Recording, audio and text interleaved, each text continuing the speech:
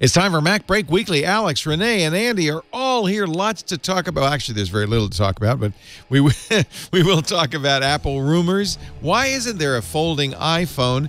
The next generation MacBook Pro, uh, and um, also Apple's uh, intent with news. It's all coming up next on MacBreak Weekly. Netcasts you love from people you trust.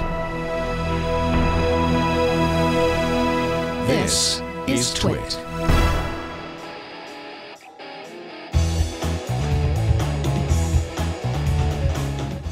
This is MacBreak Weekly, episode 651, recorded Tuesday, March 5th, 2019. Lube for your cube. MacBreak Weekly is brought to you by IT Pro TV providing effective training with access to virtual labs and practice tests. Visit go.itpro.tv slash macbreak to take advantage of their lowest prices of the season. For additional 30% off for the lifetime of your active subscription, use the code MacBreak30 at checkout. And by Eero.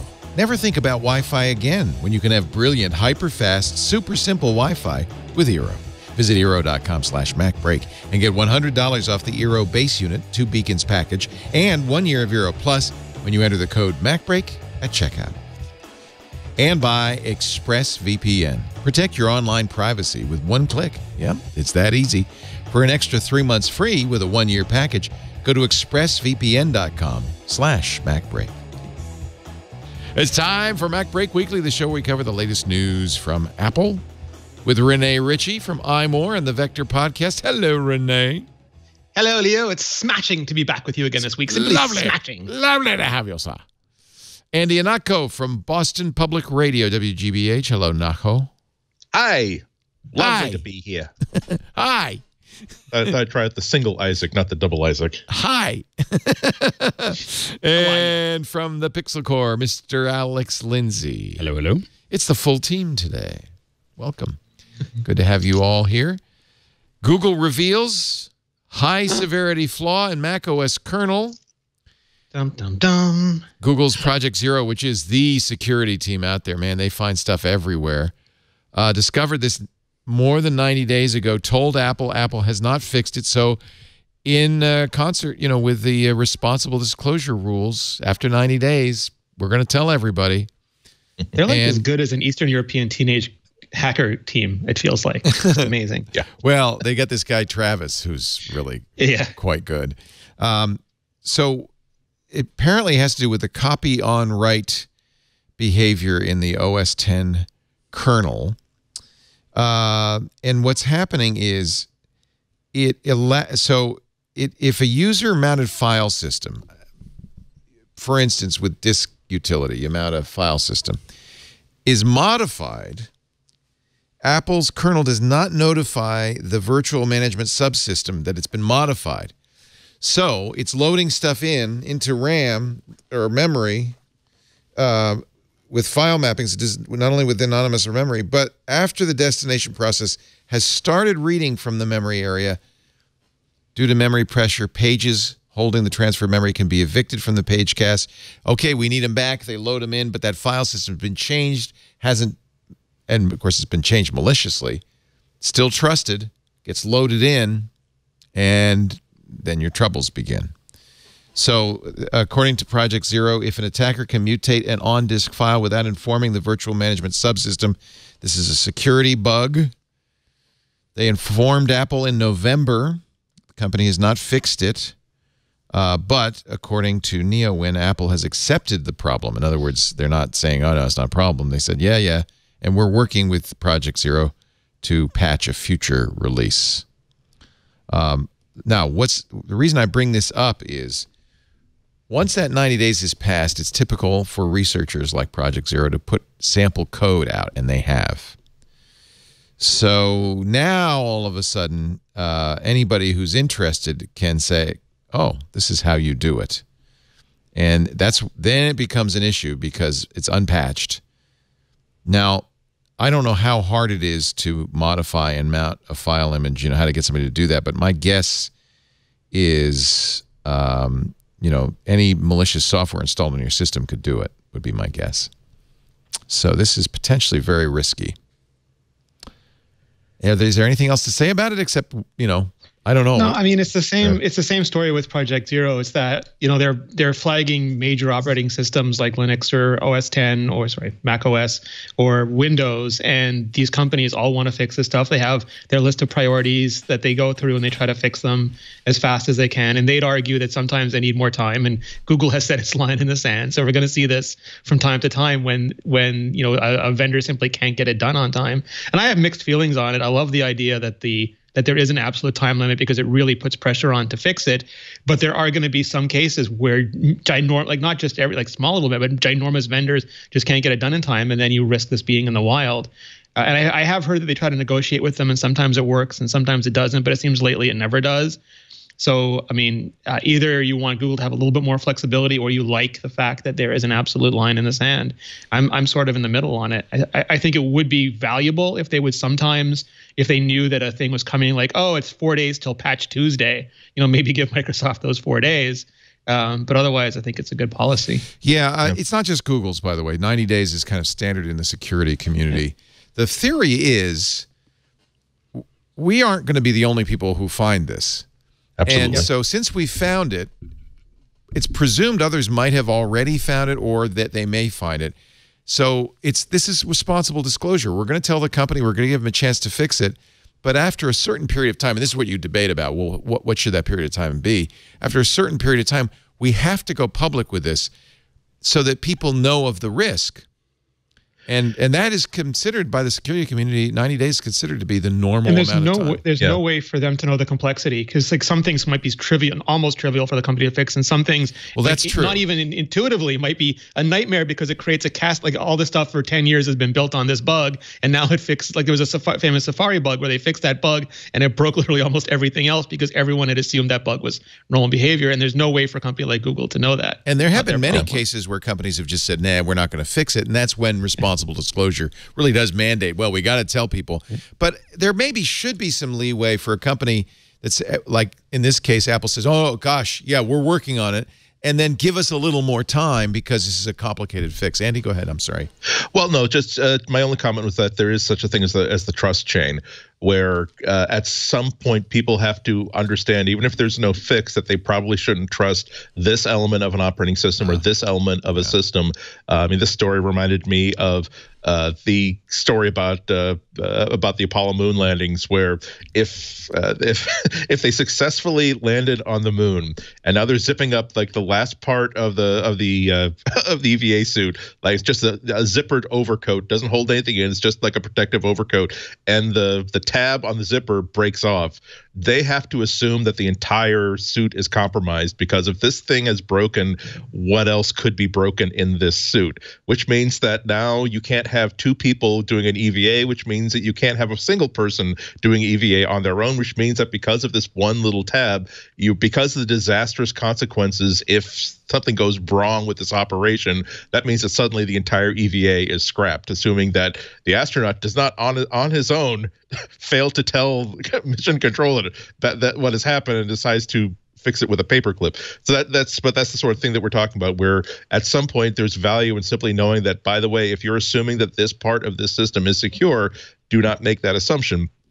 Uh, but you're absolutely right in that uh, if one person has found it, it's not necess- it's not necessarily true that other people have. Uh, no one has said that they've seen any sort of an exploit for this out in the field, which would have been a totally different thing to worry about. Uh, but that means that we could worry about, for instance, a government uh, knowing about this and keeping and not wanting to tell anybody about it. Uh, so it's there. It is a complex argument, but at some point if your if your if your SEAL Team Six uh, version of secure security team, if you decide that your job is to make everything safer and more secure, then the ability of Apple to fix this within 90 days is their problem and not yours. Your responsibility, as you choose to define it, is to make sure that people know that something is safe or something is not safe. Yeah. I hate to be completely inflexible, but, uh, you know, so. yeah, I mean it's it's it's complicated, It's but I, it's I, I, cer- I, yeah. I certainly see their point of view. Yeah. And somebody asked, well, does Google ever, does the uh, Project Zero ever report on Google flaws? Absolutely. Yeah. Absolutely. I'm sure it was originally created, in fact, for Google to police its own security issues. And uh, but these guys are so good. Travis Kalanick has found so many significant flaws. If you ever listen to Security Now, you'll hear his name come up all the time. And many of the flaws he comes up with are devious as heck. This is Yeah. fairly devious. Um, it's it's easy. I- this is not like the uh, group FaceTime flaw. This is something that you got some you you know. This would be hard to detect ahead of time.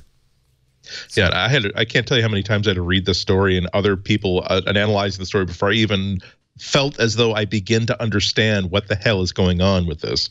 Yeah. And that's what that's what that's why we have experts in security Absolutely. doing nothing but focusing I on didn't this. I didn't do justice to it, but uh, the idea is you know you know kind of a broader brush is you're loading in something, you assume it's safe, and then a bad guy changes it, and there's no notification it's been changed, and you continue to load it, and it turns out now it's not safe, and uh, that it would be you know that's a hard thing to find. And remember, Yeah. You order your drive-through, and then they replace the guy behind the window after you pay, but before you get your food. Yeah, with the evil evil seven Arola Yes. who was putting arsenic in it. You know, you Yep. go, oh no, there. That's good. That's an analogy. I just want my burger, and you don't think about it. And remember, they don't have Apple's source code. I don't think so. They're doing this, uh, you know, kind of reverse engineering everything. Well, I bet you Steve Gibson will talk about it later on security now. Uh, and as long as we're uh, talking about flaws, we might as well stay in that. Um, a researcher, we talked about this, I think, about a month ago, uh, Linus Henze, uh, said he found a Mac OS keychain security hole, and uh, he wasn't going to tell Apple because he was mad uh, that his work would go unpaid. You know, there's no bug bounty for this. Um, so, uh, you know, there's a bug bounty for iOS, but apparently not for Mac OS. So he said, Well, I'm not going to tell you. Well, uh, Apple apparently uh, approached him and said, "Look, uh, uh, let's let's talk. Let's figure it out." And I guess they have at least worked it out uh, to the point that he's sharing details with Apple, but not yet promised any money uh, for it. Apple's always been They are um, working on it. They are working on the Mac Bounty program. I don't know why they haven't announced it yet. It's been ridiculously long since they announced the iOS one, and as far as I know, they've been working on the Mac one since they announced the iOS one. So it's Yeah. it's beyond weird. I kind of announced it understood really- Apple's position that if we start paying people to find bugs, it just uh, it just inflates the value because then we're bidding against national So, but they pay low. and- It's just it's like a, a good Samaritan fee, basically. You gotta do it enough because- that no one's but then, bidding. but it's yeah. yeah. But paying bounties at, in this current culture is what will make the system more secure because there are companies that make money off of security flaws that are paying lots and lots of money for these things. So if they don't want people to find uh, find a bug and then say I can either get nothing by reporting this to Apple or I could get $150,000 by reporting it to this company that is that special a security company whose job is penetrating phones and penetrating systems uh, at the bidding of private individuals and foreign governments.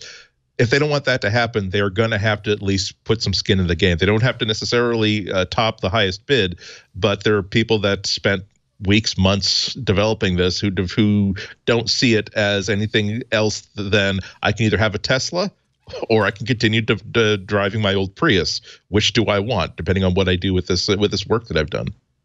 And I think a lot of them just need something that they consider fair. I don't, I don't think you need to necessarily Yeah, compete with um, nation states, but I think that I mean, if, if you do are competing, you can't. You can't. But I think that, but if you said we're going to pay twenty five thousand or fifty thousand or whatever uh, for it, you know, because the other thing is what you want is a handful of people who are really smart to spend their their whole day thinking about it, Yeah. and and working on it, and if they can make a hundred, two hundred, three hundred thousand dollars a year, uh, figuring out, you know, saving you millions in possible losses, it's worth it. Yeah. I love I love this story. A 19 year old Argentinian.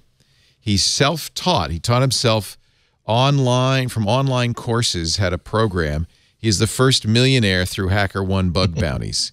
Uh, he has made one million dollars in bug bounties. That's awesome. Isn't that great? And he's a kid, and and he's a self-taught kid. He didn't go to college. He didn't, you know, he didn't. I guess didn't have the money to do it. He just kind of fell in love with technology. He does now. Maybe he can go back to college now. Yeah, now he was inspired, oddly enough, by the 1995 film Hackers, which only inspired me to nausea. But apparently, he, Oh boy, I, w- I wish I'd been sneakers.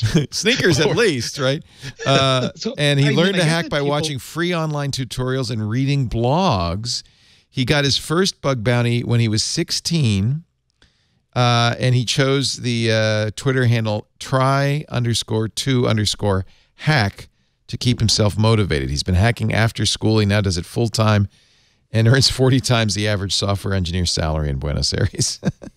I love it. So one of the like I know there are some people who really dislike the idea of the bounty programs. The way I try to look at it is this: you have good Samaritans who will just stumble across bugs like the FaceTime bug, you know, and give you back your wallet, and then maybe you'll give them a few bucks because it's nice, you know, to reward good Samaritan activities. You have your police, which are like the red teams at the various companies that respond. They find their own bugs, they respond to them, they seek out the offenders, and then it's but it's also good to have these like these people out there who are just looking for them, like consultants, like experts, who you'll like, you know, they they know that you will compensate them if they if you bring them good work, and it's not like they're going to sell it to the mob if you don't give them something. But it's just it's better to have a wide and diverse network of people out there. It's better for everybody in the end.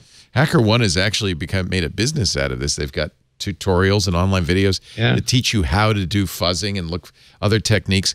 And they have handed out now nineteen million dollars in bug bounties. Nineteen million. One million to that one guy. One million to that one guy, but but uh, yeah, man, there are many many hackers who are actually now making a, a living, and uh, this is of course uh, highlighting the problem of the word hackers, which implies a bad guy, but it doesn't. It isn't. In fact, it's just somebody who likes to hack on code, and uh, many hackers are not bad guys. So, so Or, there or girls or women. or women. Uh, yeah, absolutely. Should say that. Yep. Uh, in fact, software engineers, uh, you might be interested to hear this. This is kind of a sea change in Apple.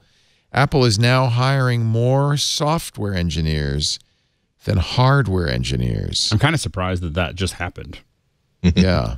Yeah. Uh, this comes from a data driven site called ThinkNum. Software and services job listings have outnumbered hardware engineering listings since the third quarter of last year. So, but that's this is the new Apple. Yeah. Again, uh, electrons are a lot easier to manipulate and distribute than than molecules. So that's where the future of the company is going. Well, and also, once you build the molecules, uh, there's just a lot of different things you want to do with the electrons. Yeah, Yes. Uh, we didn't the mention bits, this not the atoms. last week, but the one division you don't want to work for at Apple is the uh, self-driving car. Uh, they've laid off a big chunk of uh, employees um, last week. It's hard to know whether that's a that's related to them scaling down or just changing direction. You know, In fact, you- Apple Yeah. says Change- it's a it's reorg. a change of direction, Yeah. but they also I don't know if it technically can be called a layoff because those people are being put into other orgs. Yeah, exactly. right. And also re- remember that a lot of the research that they're doing in self-driving cars is so applicable applicable in things like augmented reality. You're talking about a thing that is moving throughout real space and being able having to analyze visual input on a very very quick basis and then make decisions based on that. That is something that if you were able to build a pair of goggles, you would be be able to put that software very very nicely into a pair of goggles. So I should point out that these are actual layoffs. That I'm sure there are many Oh, okay. hundreds of other people who will be moved from the division to another division. But Apple filed this with the California Employment Development Department, saying uh, Oh, by, weird. by April we will be firing uh, 38 engineering program managers, 33 hardware engineers, 31 project and design engineers, and 22 software engineers. Uh, on April 16th. Yeah, you have to file that if you're And going to do a know if- layoff. and I don't know if we know what the, the t- what that percentage is of the team either. We don't. And I mean, nor do of we know how many other hundreds have been moved to different divisions, et cetera, et cetera, et Right. cetera. yeah, and oftentimes- remember that. Sorry. I mean, layoffs are for most of these companies is a house cleaning a project. fraction. project. Well, Yeah. it's, a, it's a house cleaning project as well. I mean, you find that there's a lot of people that you hired that didn't really turn out. Right. Hi, let, letting go each one of them on their own is a legal liability, whereas laying off a bunch of them is something that you can do as a well, we're making a reorg and we're, we're just Yeah, that's why it. you file this. Yep. Yeah. Yep. Yeah. And also remember when this story first broke, I think from the Wall Street Journal, they had a lot of details about people who had been hired specifically from the the automotive industry. Uh, so you have people who I guess you know how to make uh, how to make suspensions and how to uh, do the ECR boxes, things that are very very automotive specific that maybe are not necessarily important now if Apple has decided that they much rather build software for other companies' cars, or if they've decided that the, the technology they've developed is more for fleet operations than for personal vehicles. So, as as usual, given that Apple hasn't really, given that we have no idea exactly what was inside uh, that part of the company, it's hard to hard to speculate. But yeah, that that is new. I thought that the last time that they meant that that was in the news, it was they were specifically specifically saying that they're more moving pe- engineers from one division to another division. But this time, if they're saying that they're layoffs, that's My that's interesting. understanding, and it ha- uh, is the way the companies work, and I've heard this from both Apple and Google, and it might just be a Silicon Valley thing, is that you you're given your notice, and then you have certain number of weeks to find another group that's willing to take you on, and if that group takes you on, then nothing ha- like you just basically move groups, and if it doesn't, then you have then you're technically out of the company, and you can reapply for another position. Yeah, that, I'm sure that I they don't know do what the that. I'm sure they is give them a chance to look at other listings within Yeah. the company. Yeah, and perhaps give them, an, you know, a head a head start. Yeah. We also have no idea how many people are are working on Apple projects that are actually employed by contractors that Apple does not have Yeah. to file paperwork for. So Right, right. Well, you know, we're just look reading the tea leaves. That's all we do here. Apple doesn't tell us anything. We just have to read the tea leaves. Let's take a little break. Come back with more, uh, including USB four. Get ready. Ooh, Just when you Four thought it was fun. safe to get a USB cord. USB 4. Our show today brought to you by IT Pro TV. I uh, I feel like a certain affinity for these guys. Uh, uh, I first met uh, Tim and Don at uh, NAB at the NAB conference, where we did a panel on uh, IPTV and you know using the internet for as we do for content.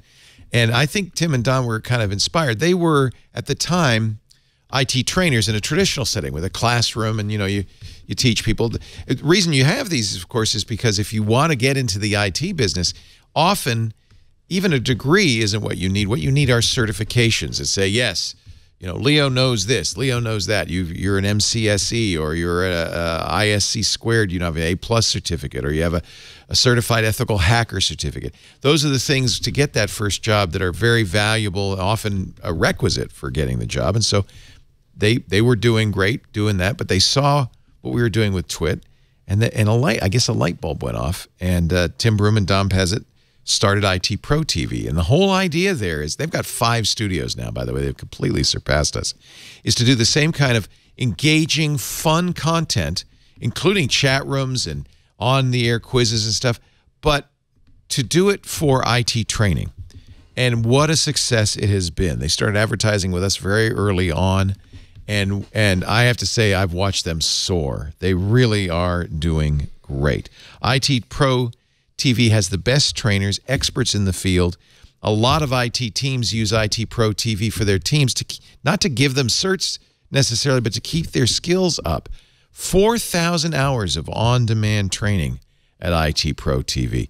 And uh, now uh, you can see the members of the team growing 100,000 plus. They just crossed 100,000 plus IT Pro TV learners. It is a massive success. And partly because it is the most affordable, most engaging way to learn the skills you need. A standard membership is $28.50. I'm going to tell you I can make it a lot more affordable, but $28.50 a month. Premium membership, which includes not just the uh, the classes, but also labs where you can you don't even have to have a Windows machine to be able to actually set up Windows servers and configure clients. Uh, and practice exams too. So if you're getting ready for those IT certs, that's great. That the up the premium membership is forty two dollars a month. But right now, I'm happy to say IT Pro TV is still honoring the special offer we've had since they started with us 30% off for Twit listeners. And that is not just for a week or a month or a year, that's forever as long as you stay active. That means that the standard membership is under $20 a month. You are not going to find this kind of training anywhere for that price. Or $200 a year. The premium membership now just $29.50 a month or $295 a year. This is cheaper even than just buying the books to do the studying. This and it's so much more fun. You can watch on the big screen TV. They support they have iOS and Android apps, but they support Chromecast. They have a Roku app, an Amazon Fire TV app, really nice Apple TV app. Of course, you can watch streaming on your PC too. So, you know, you can have it on the big screen while you're eating breakfast, hop in the car, listen on the way in, keep it as a picture in picture on your screen during work imagine how quickly you will learn the skills you need. Episodes are recorded live every day, Monday through Friday. In their five studios, they go from studio to web in 24 hours, so they always have the freshest training. By the way, it's kind of cool. CompTIA now uses IT Pro TV as their official video training partner. That means they've got 12 CompTIA on demand courses. They've got the CompTIA A Plus, Network Plus, and Security Plus certs. So um, they're just going great guns. I want you to visit them right now. Go.itpro.tv slash MacBreak. Get started with your standard or premium membership. This is the time to get that job in IT you've always wanted or to keep your job or get a better job with the training from IT Pro TV. Go.itpro.tv slash MacBreak. And if you want that 30% off, don't forget to use the offer code MacBreak30 at checkout. MacBreak30 IT Pro TV is flexible training, binge-worthy content, life-changing results. And I'm very proud of the success that uh, they have achieved. USB 4.0. You know, I, I, in a way, I bring this up on uh, MacBreak Weekly because we wouldn't probably have USB if Steve Jobs with the iMac, the very first iMacs, had said hadn't said, and we're going to support USB. I mean, that was a big part of it. We're not going to build in a Not some. Apple, some weird Apple connector. Yeah, we're going to Yeah. support it. And then suddenly we had to figure out how to get all our ADB keys to work. That was- that was And Leo, this comes us. on the this comes on the heels of them saying that USB, what is it, USB two and three are all USB three point one and three point two now, and Well, that's a little confusing. In fact, thank the whole goodness thing is iMore has written a uh, fabulous article, Jerry Hildenbrand. Everything you He's need to best. know about USB 4. Better, stronger, faster, backward compatible. 40 gigabits per second, so it competes with Thunderbolt 3. In fact, it is Thunderbolt it, three. it, it basically carries Thunderbolt 3, right? yeah. It's two-lane operation. USB four carries Thunderbolt three. But uh, you can use your Type C cables. That's very good news. Um, so is it Thunderbolt 3? I mean, are they just renaming Thunderbolt? No, it's got to be more than that, right? Yeah, it's it's it's a super. I think it's a superset of Thunderbolt three. Okay. But it does but it is compatible with. And if people are panicking, the numbers are the protocol, the bits that go over the wire. The letters are the plug type. So no one is taking your USB C cable, the one that you just Yeah. finally got everyone to convert to, and making you get a, like an L-shaped cable or anything. Yeah. It's the same ending as Thunderbolt 3 and USB C cables already. Yeah. Yeah, it just it, it just recently we got uh, USB USB 3.2. So now we have to say we've got USB 3.2 extended to USB 4 over USB C. at which point your friend's head Compatible with. TB3. Will there be at some point just this merging of standards so everything's Type C? The problem Thunderbolt is that 3? um, Thunderbolt is an Intel thing, and Intel, as we know, it has not had the greatest success bringing things to market recently. So everyone is still waiting on PCI. Is my understanding, and you know, I'm not an expert in this stuff, but my understanding is we have Thunderbolt 3 now, and it's an Intel thing, and we're waiting on PCIe 4 so we can have Thunderbolt 4, uh, but it's taking a while. And meanwhile, USB USB is doing its thing, and luckily, but confusingly, a lot of cables can carry both. and apparently Intel has dropped the royalty or has somehow made it more open. Uh, Thunderbolt 3, yeah, it's open and royalty free. So that probably Yeah. has a lot to do with it as well. Because who wants royalty-based connectors? I Yeah, mean, there's some, the last if you want something to be ubiquitous, make it open. If you Yeah. like, this just Yeah. feels like common sense. Hey, speaking of iMore, I didn't mention this, but um, I gather, well, you tell me, congratulations are in order. iMore was uh, acquired by Future. Yes. Yeah. So if people aren't familiar with Future, they have uh, T3 and Tech Radar and a bunch of paper publications because in Europe that still makes a lot of sense. Uh, in um, in America, they recently, I forget how long ago, a year ago, bought Purch, which had the AnandTech and Tom's Guide and Tom's Hardware and Laptop Magazine. Um, and so, in order to increase, I guess, their North American scope, they bought Mobile Nations, which was a proprietor. Like you know, it was started by Marcus Adelson back in the days of Visor Central, and he kept it all these years. I guess he finally decided it was better to be bigger, so he sold. He and his partners sold to um, to Future, and now we're all all one big happy family. Is it going to change Does this- anything uh, from your point of view? It's com- we're running completely as mobile nations for at least a year because they're, as far as I know, they're still busy with like you know doing all their stuff. So it's not going to change anything for now. And if you look at AnandTech and and um, Tom's Guide and Tom's Hardware, they've been with Future for a year, and I can't see anything that's no, changed. they've gotten better, if anything. Yeah. Yeah. So hopefully, I mean, you know, I, it, it's new, it's new people, so I can never say never. But as far as I can tell, nothing, nothing has changed with any of their properties. Probably so the far. best known future property, one of their earliest, is Maximum PC Magazine. I think a lot of people are familiar with Mac that. Life. Maybe What did people they- remember. They do 3D World. Um, long I time remember ago. I they do wrote- a Guitar Player Magazine. yeah, 3D um, World. There it is. They're smart to kind of go digital, and a lot of their properties are full, are 100% digital. Yeah. A lot of photo stuff, digital photographer, um, photography. week. Guitar stuff. It's a huge range. Yeah. This reminds me a lot of the old Ziff Davis, where uh, they were originally like sailing magazines and all, all Yeah. sorts of other uh, stuff too. All these specialty uh, magazines. Uh, but mag, I don't know how what the future for magazines is, so uh, it's smart of them. Anyway, I just thought you're you're the news this week. I thought, Thank you. I, I thought I'd mention is- it. This is going to be like Marvel movies, where now the Spider-Man movie has to involve Tony Stark somehow because you have to make sure that you you promote the next movie. Well, I did ask Ryan from AnandTech if he was going to benchmark me. and He said no, but he is going to overclock me, and I don't think anybody is looking forward to that. Yeah. Uh, they even it looks like they even do um, conferences, right? They're d- going to do the video show. That's awesome. Yeah. Where, when and where is the video show? at the NEC in 2019. Everything the budding filmmaker, professional videographer, vlogger, or online content creator needs to expand their moving image production Where's horizons. I'm not familiar with the NEC. It's probably something Br- British, uh, but that's kind of cool. Yeah. Yeah, you know, I think uh, who who is it that bought uh, um, uh, VidCon and uh, is Oh, it don't know. Viacom? One of the big, I think it was Viacom bought VidCon. Uh, VidCon is the big YouTube conference, and so there's clearly Oh, a it's NEC consolidation. Birmingham. It's in Birmingham, Alabama. No, Birmingham. Oh, England. the original Birmingham. Oh, the one with the smokestacks. yeah, I know that.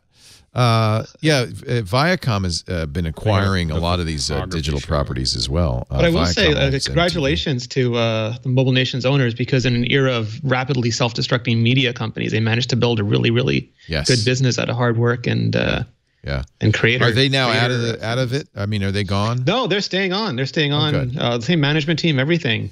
Good. So your life won't change dramatically. No, Crackberry Kevin is still my boss. And uh, Vector and all that will continue on as well. Yep. I'm sure. Yeah. Because we count on Vector. Yeah. Oh, thank you. Yeah. Uh, it's a cha- you know, it's actually kind of Apple's kind of part of that story. I mean, really is a changing world. We know that, or we think that, according to John Pachkowski, and I think Mark Gurman confirmed Apple's going to have a news an- announcement uh, later this month, maybe the 25th, although that's a Monday. So we think that's odd. Um, but um, negotiations continue with publishers. And uh, Digiday had an article this week about publishers who are already on Apple News, and probably some of the texture publishers are, are also there as well, who are reporting that ad revenue is not great. This should be an Aaron Sorkin show, shouldn't it? I'd love to see all the behind the scenes on this stuff. Yeah. Um, Again, According if- to if Apple is- Digiday, ad revenue is bogged down by adver- advertisers' disinterest in the ad inventory publishers are selling directly. Um, and so, in some cases, um, one source said their publication earned low five figures every month from Apple News. Another said they earned less than $1,000 a month. The biggest success, which is not good news for Apple, is the publishers that aren't full on Apple News, but Apple is throwing like especially now with polit- with political news, entertainment news, Apple is throwing so much traffic their way. That when you look at the numbers of referrals they're getting from Yeah. Apple, it's ridiculous. And then it hits their own their own either it hits their own your subscriber and it hits their own paywall or it hits their own ad pile. And you know that that's not great for subscribers who are going all in on Apple News, and it's not great for Apple News. So they're going to have to fix that, or everything is going to be to read finish reading this article on the web. I mean, with CPMs of- of- as low as three and four dollars. Well, that's what it's like on YouTube too for video. Yeah. yeah. Or radio. Digital ads in general are horrible, like Yeah. and declining. Yeah. Um, so I don't. That But it's might make it. ads that Apple's terrible at doing. Well, according to the publishers, Apple's really bad at filling remnant stock or filling like you'll get like the one display ad. And if people aren't sure how this works, generally you'll have like the premium ads, and those are the ones that pay the best. But they have a, a number of times that they'll display, and then it's got to show something else because you're no longer no longer getting paid for that ad. So most publishers have a, a, a stack of different ads. Like you It's have the real re- big it's premium called ones. remnant remnant yeah, inventory. and then either like Google. I think Google with Ad Exchange is one of the in this biggest ones. I case, forget it's the ad- the NBC other one. Universal that's apparently selling the Yes. remnant. But those remnant ads are generally the horrible ads that you see on the website, and Apple isn't filling those, and so there's nothing. Any of those ads are horrible. People click on them, and that generates revenue. So Yeah. it's yeah, or they at least see them, right? I mean, you know, it's, yeah. I always think it's funny. I, whatever I know, whatever page I just went to when I go to speedtest.net because I get five ads that are all the same. So the same Are, thing. You know, all about whatever B and H. You know, it's usually Yeah. all my B and H orders because I went to B and H first for something. So, Osmo Pocket. So um, the the point of this article, though, in fact, the headline is it's it's hard to back out, even if you're not making the money you Yeah. wanted. Well, um, I- you can't you can't back out either. Yeah, because I mean, the thing is, they, they also need flow. I mean, uh, we were the, uh, the, everyone was talking about how Spotify was ruining Spotify, and all these subscription services were ruining the music business, and now it's the majority of their income. In fact, their income is starting to go Right. up. You know, as as people start to move and use these platforms, I think that they're going to find that they're making more money. But in the transition, sure, it doesn't make any sense uh, until enough people are doing it, until enough average folks are using it uh, it's it isn't going to make sense revenue. It's not the thing that you can lean on yet, but uh, but streaming uh, music has definitely gotten to a point where they can lean on it. Yeah. Mm, but it's each one of these types of media is unique, however, and Apple has to make sure that they're providing a product that the people who are buying this are going to be able to use. It's not just uh, Apple tends to ask for a lot of control over every any kind of service that they tie into, and sometimes uh, with advertising in particular, the the things that I'm hearing about from major publishers is largely that I need the information that I can get about my readership. I need to know what people are reading on my own site and what kind of what kind of level of engagement there is, and they're not confident that they're they're going to get that sort of stuff uh, off off of Apple, and so if if Apple if Apple is, is negotiating from the, position of we are an elite brand, you are we are making you look so good, you should be so happy that you're that we are associated with us. That's not going to pay out in in the future. They they dallied with advertising earlier on. That's the reason why we don't really think of Apple as an advertising company because they just didn't create a product that was useful to the marketplace. I mean, the, the pattern for all these publishers, though, that, that's dangerous is that you know the Hollywood decided they were going to stonewall uh, Netflix, and that has not turned out well for them. Uh, you know, Spotify. You know, everyone's afraid that Spotify and Apple will eventually just cut the publishers out because they can. And eventually, you know, like if you look at Future, which just bought iMore, what if Apple says, "Okay, I give up, and we'll just start buying these guys," you know, and just you know, and filling the, you know, and then and then Apple News becomes a whole lot of things that they can provide that are that have all these verticals. The problem for uh, if they decided that they were going to do that, uh, the problem for publishers is that okay, now I now I have this thing that works and it's totally tied in, and, or I can try to survive outside of that ecosystem. So them pushing back too hard uh, just will lead these technical these tech companies to decide they need to do it themselves. Uh, It's I don't weird know too about because we got like kind of hooked on the on the metrics because in the old days, you know, you you bought the newspaper, you bought the magazine, and they their demographic business was as big as their classified business. They lived on all the addresses and information they had because they could sell those, at, you know, for huge marketing revenue. But they also knew that every magazine and newspaper they sold were probably read by two people, the magazine in the dentist office by like 30 people, and they sort of padded the numbers to account for that. And now we're seeing a digital equivalent of that, where the article is going out to Apple, but then being read by a billion people, Well, and there's no real way to pad for that. I think that the thing is, is that they they do need to find a way to. I don't think that they Apple needs to give them the information to be able to give them data and info, data of how many people are watching a certain article, or being able to even notify the users if the users are if it's basically a publishing uh, like an RSS system where uh, Apple's you know a publisher says I've got a new article and your your app on your phone is securely asking for are there new articles from the New York Times. Apple doesn't have to connect the two of you together to give them some of what they need, you know, for that for that process. They can anonymize it and and then and then allow it to you know that information to kind of go back and forth without uh, breaking that up, much like Apple Pay doesn't really give you give the anybody a lot of information either. And they so have the number, they just don't know how yeah, and so and so the thing is, is that but there's a lot of data that you can get when I'm trying to figure out. You know, I, I, I know a little bit of the publishing, but in video, we want to we definitely want to have a lot of information, and we get that. I don't know anything about the actual users that are on the other side, but I know how many people were watching at a certain time. Um, I know when they left, when they entered. I can if I cross uh, if I cross that against other marketing processes, I start to get a lot of information about what is actually happening, uh, you know, on my video, and I make decisions about what part of videos are good and which parts we should do less of. Uh, so it's a lot of the information that they need. Now they'll say that they want those demographics because they want to resell those demographics. I mean, they, they, they want those email lists and they want that stuff because a big part of their business is, you know, reselling the list, which they're not getting from Apple and they're not going to get from Apple. And so that's obviously going to be frustrating. And I think that they find that if they if they can back channel a bunch of complaints, they can try to pressure Apple to do it, which is why we're seeing this article, of course.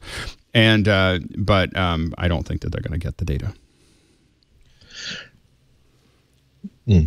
That's the, the, only I, was I, I wanted to format this comment in a way that doesn't turn into another 30 minutes. But uh, what I think one of the bigger problems is that a, a lot of what I've been hearing both in public and in private about Apple's upcoming offering is that it's very very it, it leans very very heavily towards national news.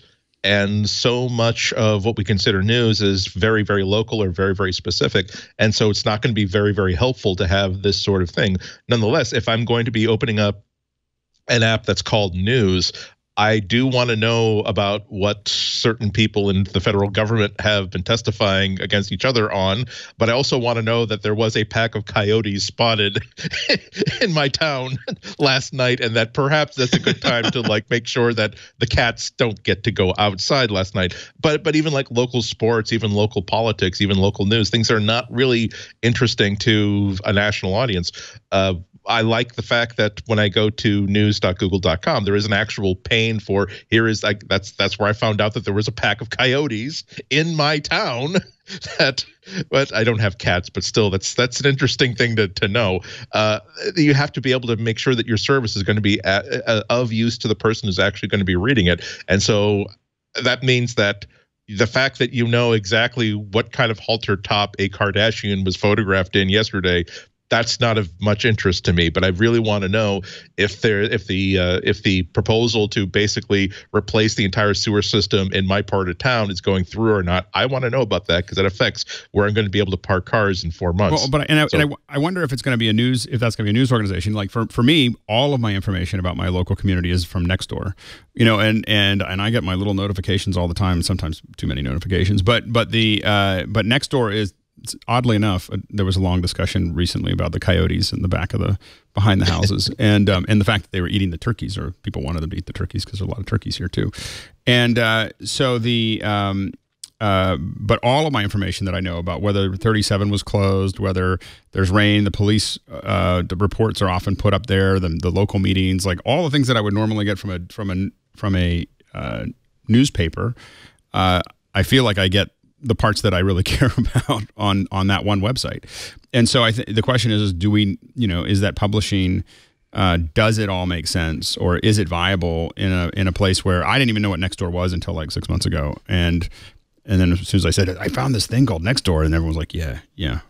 My, my, my, my wife was like yeah I've been Oh, on that for the last three years. Yeah yeah yeah. Like like uh, just kind of like it's kind of like how we figured this out you know? And uh, and you know and, and I think that it, what's interesting about it is is that I think that the the problem really for publishers is going to be the the monodirectional fun- function of their system, which is that they're not going back and forth. What makes Nextdoor really interesting uh, is that we're all discussing stuff all the time. You know, recently we've been discussing leashed dogs, but but there's you know you're discussing stuff back and forth, and the future is, of media, I think, is going to be a discussion, not not a mono-directional broadcast of in, of text, uh, video, audio, whatever. It's all going to be back and forth, and these you know these publishers aren't ready for that. They don't understand that at all. Well, it's I'm in the meetings with them. it's complete.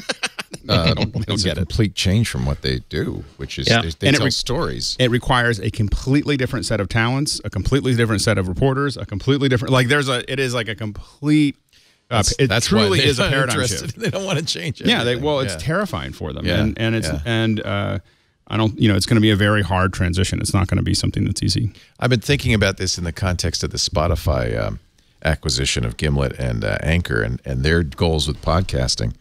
And um, I think what I what I think is that some people think of podcasts, and Gimlet certainly does, as kind of like TV shows. You make shows; Yeah. they have seasons, they run for a period of time.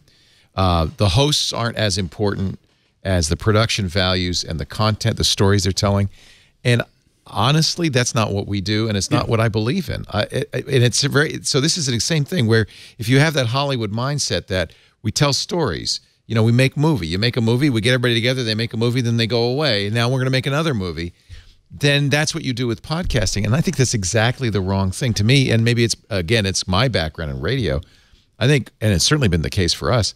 Podcasting is not about the content as much as the conversation, as you said, about the people who are making the hosts are far more important. It's a, uh, you know, we're not in show business, we're in people business, Right. and, And- it is and- about conversation. And there's an authentic conversation among people who actually know what they're talking about. And if you want longevity, you know, this show's 15 years old. If you want Right. something to go on and on and on, it's going to be about the people. Of course, the content has to be something you're interested in. If you're interested in Macs, then this would be, or Apple, this would be an interesting show for you. But if you don't like the people, you're going to move on. Right. And if you don't like the conversation, and uh, yeah, and I think that that's a, you know, it was it was said in the earliest days of the internet. People interpret the internet based on their bias, what they came from. You know, if you're a magazine publisher, you thought, oh, great way to publish magazines. Well, and, and, If you're a video maker, it's oh, a great way to publish videos. and, and we, we find that uh, a lot of you know that we've had the opportunity to do 2000 shows in the last you know 10 years you know for other people and you watch this wide range of you when you work anytime you work with someone in new york or hollywood you end up with this jam-packed show that has we've got bumpers and sweepers and things and then we're gonna play yeah. we're gonna do a play out and then we're gonna come back Right. and, and and it's so tight that there's no authentic communication Right. you know and what we found One person on stage is much more effective than the jazzy, jazzy produced. Well, and when you start actually letting the audience, you know, because Yeah, we, I have- we love have, the we have an conversation IRC, and part, well, like, yeah. we we did a uh, we don't do that. Was always a challenge for me. I one of the reasons we do shows live is because we want to make them interactive. Most people don't listen live though, so it's a really interesting challenge. For, it always has been Yeah. for us. You know, I come from talk radio, which is fully interactive. Right, right. Well, and and they, you know, it's it's one of those things. It's a chicken or egg kind of thing. When people know that that you're going to have that, more and more people show up for the stuff that's live too. You know, it's a matter of audience. Uh, Yeah, we thought that would happen. Well, it's the hard. It didn't the the uh, because people have lives. That's the other side of it. right, right, right. Yeah. know? What? How Yeah. dare they? But I, I, you know, I always liked live radio because uh, you're it's live and you can call if you got something you call in and and and actually most people never call a radio show, but you feel like it's a conversation by proxy because and you feel like you could you could you could Yes. call in. You know, and that's that's the you know it's, it's like the it's like the lottery. Right. You know, it's like you could win if you if you actually played. So. Uh, let's see. Other Apple news. Apparently, Apple, according to iFixit, Apple has started uh, putting longer cables in their MacBook Pros. They never admitted that there were issues, but many had said, you know, these MacBook Pros fail after repeated opening and closing of the laptop. And in fact, it was dubbed FlexGate because of the flex display cables. Apple never said, oh, yeah, there's a problem. But iFixit notices the latest MacBook Pros have a longer cable. Yeah, Oh, I- that was so embarrassing. This is it was it, it- was not not only just a, uh, it was seemed to be a very very simple engineering failure, but also the fact that they decided to integrate this cable with the display itself meant that if someone came in with this problem, they said, okay, well it's no New problem. screen we'll for you. exactly, six hundred bucks. Thank you very much. Yep. This is if you've never seen it, and I actually have never seen it, but that's I probably don't open my laptop enough. But this is what the failure starts as. They call it the stage light effect, where you've got these kind of footlights coming up from the bottom of your screen. It's very theatrical. It, yeah. Once you see that, you know that your cable is failing, and it's going to be a seven hundred dollar replacement because they're not going to, as Andy says, they can't just fix the flex. You have to fix the whole screen. Yeah, I'm not gonna I'm I'm not gonna say dumpster fire in context with this Not design, that but bad. It's there, there's smoke. There's reason for take a look and see. Well, and this is, you know, uh, honestly, uh, every t- every year you got to do something to improve your product, and sometimes it's something invisible like a a slightly Or longer cable. Something to some- something to keep a two thousand dollar laptop from failing. Yeah, right. Um.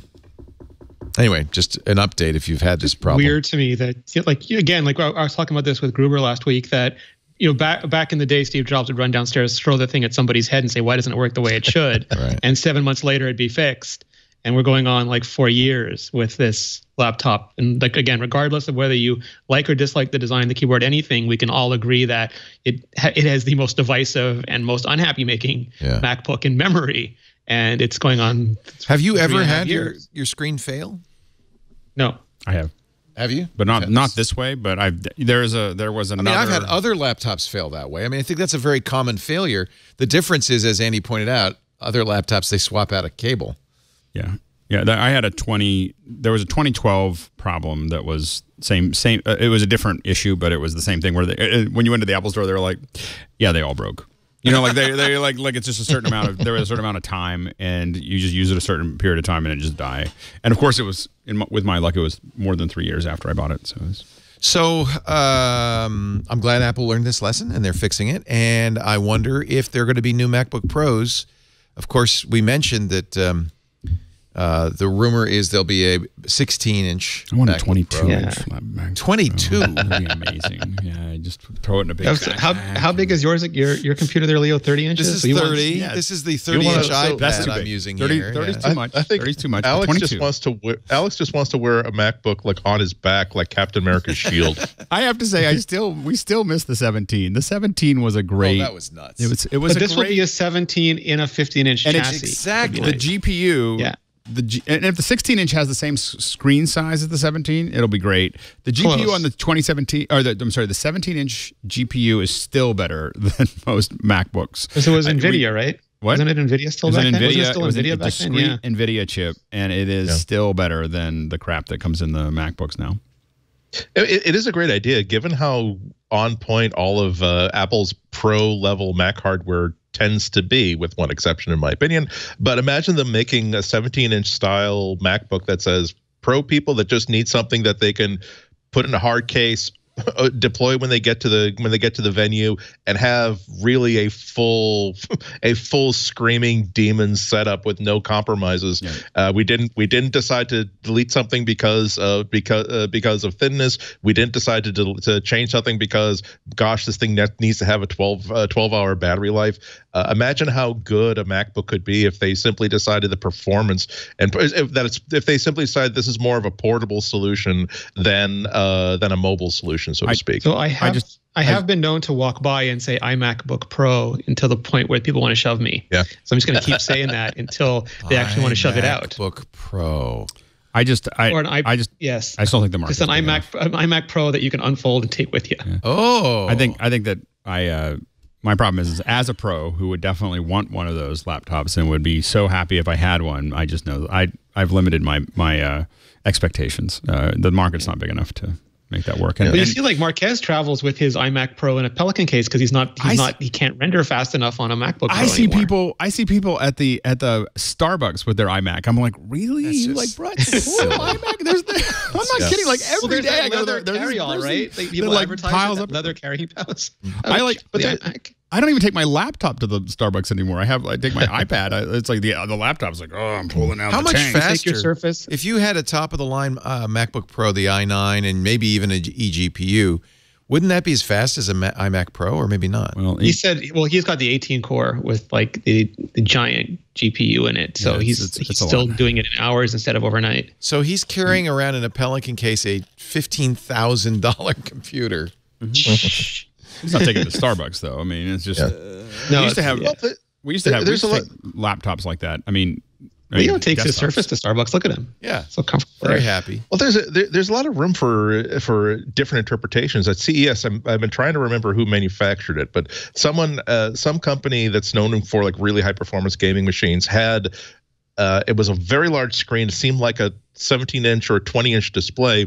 And it was again not designed necessarily for mobility but for portability. And it had like a microsoft surface style sort of flap on the back so that uh, obviously it's not designed for like multiple sort of positions but it meant that instead of having like an imac style built-in uh, built-in stand that would never fold flat this thing when you fold it down uh, could actually become uh, a uh, a self-contained package including a stand and protection for the keyboard so that if you were to zip it inside like a folio case or something and this is something you could easily take on board an airplane And there's some great uh, and so there's some I'm not, saying, I'm not saying that anybody should do that, but it's an interest. It's an interesting way to to address a, a section of the market that wants a desktop that they can easily take from job to job to job. and there's some great customization. You can take that that arm off the back and um, you know Yeah. just the nub. It's, it's a And VESA mount there, right? It's not a V. Uh, it's not? I don't know if it's a VESA mount, I, but it's on it's the Mac, iMac it is. yeah. And, and so anyway, you can take that off, and then you can do all kinds of things with it. And and there's some great arms and great uh, customization that you can do with those things. And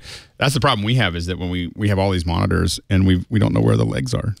You know, because it, 'cause it's just like 'cause all we use is is uh, Keep the legs. Yeah, they're with No, the no, box. they- Where's we- the box? The two, things, the two things we can't find are the legs and the power supplies because we don't buy monitors anymore that don't do figure eight or C13, and so. Uh, so the um, and then we don't keep the legs, and so there's all these monitors, and you can't find any power supplies or any any legs because because we're just like, well, you can just go anywhere I and have buy a figure dream. eight. I'd love to have. I have a three monitor setup at home. I'd love to have it all on arms. It is I the way to lift go. it up, clean my desk, put it back down. They make a lot of those. I might do that. Yeah, those are. There's a there's one company that I think still has a video of me reviewing it on like five years ago on their website. I can't think of their name right now, but uh, uh, that has like the really shiny, nice ones. Yeah. and then Yeah. but we we buy a lot of cheap Amazon ones that are. If you're if you're Dwayne Johnson, you could just put like a, a Gorilla Pod at the back of the iMac and just carry it around like a selfie cam. Um, let's take a break. When we come back, there is a lot more to talk about. I, we you mentioned folding. I think we should talk a little bit about the rumors that Apple Apple has a patent for a folding phone, and and and uh, apparently Gorilla Glass or Corning is working on some sort of glass that will fold. Apple apparently doesn't want to do a plastic folding phone. Maybe there'll be a folding iMac. Who knows? Our show today brought. Eh, it's possible, right? It'd be a lot of folds. It'd be like a map. Our show today brought to you by this little doohickey. I love my Eero. Eero knows that the single router model that we grew up with with uh, Wi-Fi is is broken today because we have so many devices. The the the bandwidth is congested now. Uh, we live in a high bandwidth world, so you need to go mesh. It's simple physics, like white waves. Wi-Fi waves don't go through walls well. You wouldn't want a light bulb in your living room to light your master bedroom. What you need is a distributed system. In fact, for years, businesses have done it this way, but usually you need an IT professional to configure it and keep it running. Eero gives you an enterprise grade Wi Fi system in your home, and it's so easy to use. The Eero app will literally walk you through the process, iOS or Android. It lets once you you've set it up though, you'll continue to use the Eero app because it lets you manage the network from the palm of your hand. I can do it from right here. Not only my network, but my mom has Eero. I set her up with Eero. I can manage her network. You'll know how many devices are connected to any given point, the internet speed you're getting from your service provider. And with Eero Plus, you can do so much more. It's a simple designed, reliable security system that defends your devices against a growing number of threats malware, spyware, phishing attacks, and of course, unsuitable content. If you've got kids in the home, you're going to love Eero Plus. Eero plus Eero Plus provides complete protection for your network, your devices, and everybody who uses them as they connect to the internet. Block malicious and unwanted content across the entire network. By checking you sites you uh, visit against a database of millions of known threats, Eero Plus prevents you from going to malicious sites by accident, and yet it doesn't slow you down. Plus, Eero Plus automatically tags sites that contain violent, illegal, or adult content. So you could choose what your kids can and cannot visit right in the Eero app. I am a happy Eero Plus subscriber, always have been. Not required to use Eero. It's nice to have that as a feature. Eero takes the problematic Wi-Fi. The uh, the shout I used to hear in the house is, "Honey, the Wi-Fi's down." I haven't heard that lately. Thank you, Eero. I really really appreciate it. Uh, and if and you know as, as you as your needs grow, you can grow your Eero system. It starts with the Eero base unit. Connect that to your cable modem or your DSL modem, and then extend it with beacons. And you can add more beacons to extend it even farther. As I got cameras, you know, security cameras outside the house, I actually got an Eero beacon for the garage, so I can make the Wi-Fi easier for those external devices to reach. It's really great. WPA2 encryption and really important, very important constant firmware updates. Eero keeps on top of security, so your router is never out of date, never insecure. And they say that they'll be able to do firmware upgrades to WPA3, the next generation of encryption too, which is awesome. Eero updates automatically. You don't have to go out and check to see if there's a new firmware. It does it automatically and it does it frequently. I mean, I, I don't know, but I I see new new Eero firmware versions every few weeks. And if you ever have a question, they have amazing customer support. You can call and get a Wi-Fi expert instantly within 30 seconds. And uh, I've used it. And I just I I made up a pretext because I've never had a problem with my Eero, and they were great. They stayed online with me through a fairly complicated port forwarding question until everything worked. I was so impressed. Never think about Wi-Fi again. We're going to get you a great deal, $100 off the base unit. Uh, but the, the package comes with the base unit and two beacons and a year of Eero Plus. You get $100 off when you go to Eero.com slash MacBreak and use the code MacBreak at checkout. If you've been suffering with Wi-Fi, it's time to get Eero, E-E-R-O dot com slash MacBreak. Use the code MacBreak at checkout to get $100 off the Eero kit. You're going to want this. It is truly awesome. Thank you, Eero. So, uh, patent filing. I don't take much, put much stock in patent filings, but patent filing for a folding phone. But one of the issues with folding phones is all of the folding screens from Samsung, TCL, Huawei are polymers. They're plastic, and there's a real concern about wear and creasing. And I have a feeling, you know, six months into in, we're going to see these multi-thousand dollar phones with ugly lines down the middle and all sorts of things. yep. Apparently, Apple's you looking think that at crease is bad now. yeah, exactly. Apple's looking at glass, and the folks at Corning who make Gorilla Glass, make Apple's glass for their iPhones, said, "Yeah, it's a this is a you know a, a tough physics problem, but we are working on flexible glass. They call it Willow glass that can bend." And still be durable, reliable, and not have the problems polymers. I am I am really excited about this and really ready to let it spend about a couple years. That's exactly what. That's the good news is lowered expectations. The Corning CEO said, that- and it's going to be a couple of years at least. Well, even, Yeah. even I mean, a couple of years not after they release it, I like I want to Yeah. see Yeah. what this phone looks like. Uh, same with the Samsung phone. I want to see what it looks like a year in or a year and a half in because I don't know if that's really going to Uh, work. not not only that, but things things like uh, time. It's it's February or March, and you've been home for about an hour. So, oh, that's right, I left my phone like in its holder in the car, and you're feeling and it's really really cold. You know what? Maybe I don't want to fold this until it gets back up to like 60 degrees because it folds nicely in in Southern California any time of the year, but. Oh, that's a good. I never These even don't thought even of fold that. yet. Like if you look at the willow glass, it's bending a little, but it's not folding flat the way the plastic does or a book So does. we're talking about an Audi, yeah, Yeah, an Audi screen. yeah. And, I, uh. and I get it. I, mean, I think that they're, they're going to sell enough of them because there's enough people like me that would buy them just for the conversation piece. If I didn't already have a hydrogen, that is that's my conversation piece. I don't I don't need to. yeah, I'll tell What's you. that weather. conversation Oh, like? It's great. What's wrong with you? Why do you have that phone? It No, looks- no, it's it's it's the 3D photos are amazing. Oh, okay. I'll show I'll show you some. I've So, seen them. I got better ones now. So Oh, anyway, okay. I've got I've been shooting with it a lot. Well, I now have two because you know I bought the titanium, so they sent me a free aluminum one because the titanium one was late. So now I have two That's of them floating nice. around. And, So you and, put uh, them in a you put them in a case, and you've got a foldable tit- a foldable hydrogen. There you go. exactly exactly no it's so it, the thing is is that it's it's it's a fun it's a fun piece to you know kind of chit chat about um so i get it but as a as an operational phone i think it's a horrible but I idea. can see the value. I can see why people are interested in folding phones. Because imagine a phone that's not much bigger than your existing phone, but when it unfolds, you have a nice seven. You have an iPad Mini in effect. I just don't know how it survives. Like I just No, I like agree the with you. physics part part Huge of it in my head is concerns just about like wear. No, I know. if I only Well, wanted it for a couple weeks or a couple months It to works show fine off, on I- Westworld. I don't know what you guys are worried about.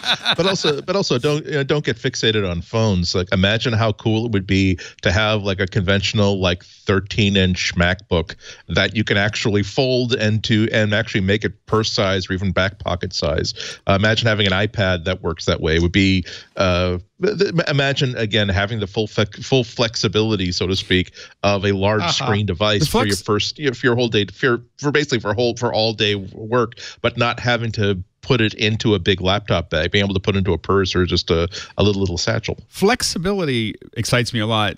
Folding, not so much. You know, like like I like I I'd- I'd love to have you know if I was working, I would love to have an arm like a Thor, like you know, or, or like a like a like a. Dell's um, making one. It's like a slap bracelet uh, phone. well, like a, uh, I think of it as like a like a quarterback on, on playing NFL. Like it's six inches long and it, it's on there. If I was working, that would be amazing to be able to just be able to look down and do something and, Uh, and it's walk pretty away. clear from uh, But- World Congress last week that we're going to see all kinds of crazy form factors as companies desperately try to find a way to get people to buy new phones. Right, right, right. And I don't think Apple's going to ever be the first to do a foldable phone. They they like you are waiting years to see what Yeah. the long term. That's all they do. All Apple does is Yeah. they draft on everybody else. Right. They, they they watch it and then they they pick a. Oftentimes, you know, the, the watches were out for a long time. Do before we Apple agree that the folding phone is a good idea? Even do we even mm, agree on that? I'm not sure. I think it's, I, it's, It's, super it is a interesting. We're compelling going to idea that has not yet been implemented. Sorry. Yeah, implementation is the key. No, it looks like Rene and, I, Rene and I are saying the same thing. Exactly it's a super thing, interesting idea. Really, I'm glad that Huawei is making one. I'm glad that Samsung is making one because over the next year, just like with Google Glass, just like with so many other early uh, products, we will find out what's good, what we like about it, what we can absolutely leave behind. Uh, and for, at $2,500, it's not as though uh, it's not as though the majority it, this is a problem that most people are going to have to deal with. But uh, again the idea of ha- having uh, the, the convenience of larger screens but and being able to make them portable that so you don't have to make those sacrifices that you always have to make. Or even or even that device that you've got in front of you right now leo. Imagine the ability to have a device that to, to basically travel with something that's a like an 11 by 17 sheet of paper but when you get to work you really do have that big screen device. Uh, all these sort of things that could become possible especially given if if you're already spending $3000 for this level of processing power if that were like a $600 premium and imagine a future in which uh, they, they're not, in which these things are absolutely durable and you will not get like a decrease in contrast or decrease in saturation at the point of flex that could be that could be really interesting. I actually think that uh, one of the things Samsung's done with Galaxy phones that nobody talks about that's very interesting is this DeX capability. yeah, I have a. I'll, I'll be getting the S10, but I have a Note 9. Uh, I'll get the S10 in a couple of days, 10, 10 plus. Uh, and by the way, you can buy a Samsung DeX dock, but it turns out it's a standard. So for 20 bucks on Amazon, I bought just a little dongle. You plug it in, and then it has an HDMI port. You plug in a monitor, has a USB port, keyboard, and mouse. And if you have a 27 inch monitor, you just leave it at work and bring your phone around, and that's got all the data. And since I did buy the one terabyte version of the Galaxy S10, it really is a computer, right? It's got every. It's a 12 gigabytes of RAM. It's a 12 Yeah. gigs of RAM, terabyte of storage, eight, uh, you know, Qualcomm 8 Snapdragon 855. That's pretty close to a desktop computer. It's certainly as fast as my MacBook Air. Well, for definitely for business applications, I think it That it might be makes a great way of to do sense, it. Yeah. Anyway, especially give, especially given how, how like a uh, imagine a like a Chromebook in the in a pocket sized form factor. If, all- if all you have is a really good studly basically what it is. compliance, Yeah.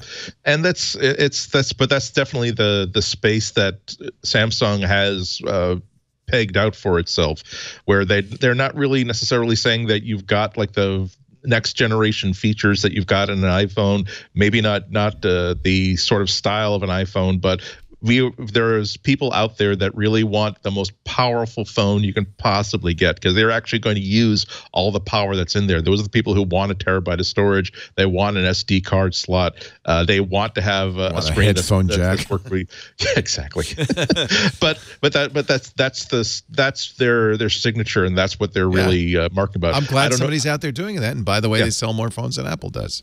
Well, and I think that I think that for for a lot of these uh, folks, a lot of the platforms, including Apple, one of the things I think they, they don't do enough of is empower developers to push the envelope of their hardware. Well, you made that interesting point because you said that DeX is great for business apps, and it's exactly right. There's no Final Cut, there's no Logic, there's no Pro apps on that. well, thing. but and, but even for business apps, really pushing what what what happens is there's this kind well, of I get chicken or egg Microsoft Office on it. Right, but there's a chicken or egg thing where you know you you when you develop apps for business, you dumb them down because you think everyone's going to have a crappy computer, and then you know there's they come out with new technology, and the problem is is that you aren't pushing the envelope of that hardware, doing the next cool things that could be done for those computers. You know, the the the i iPhone and even the this iPad can do so much that we aren't using. And you see it every once in a while. You open up some app that has all this 3D built into it and it runs seamlessly and you go, "Oh, that's what everything should look like." But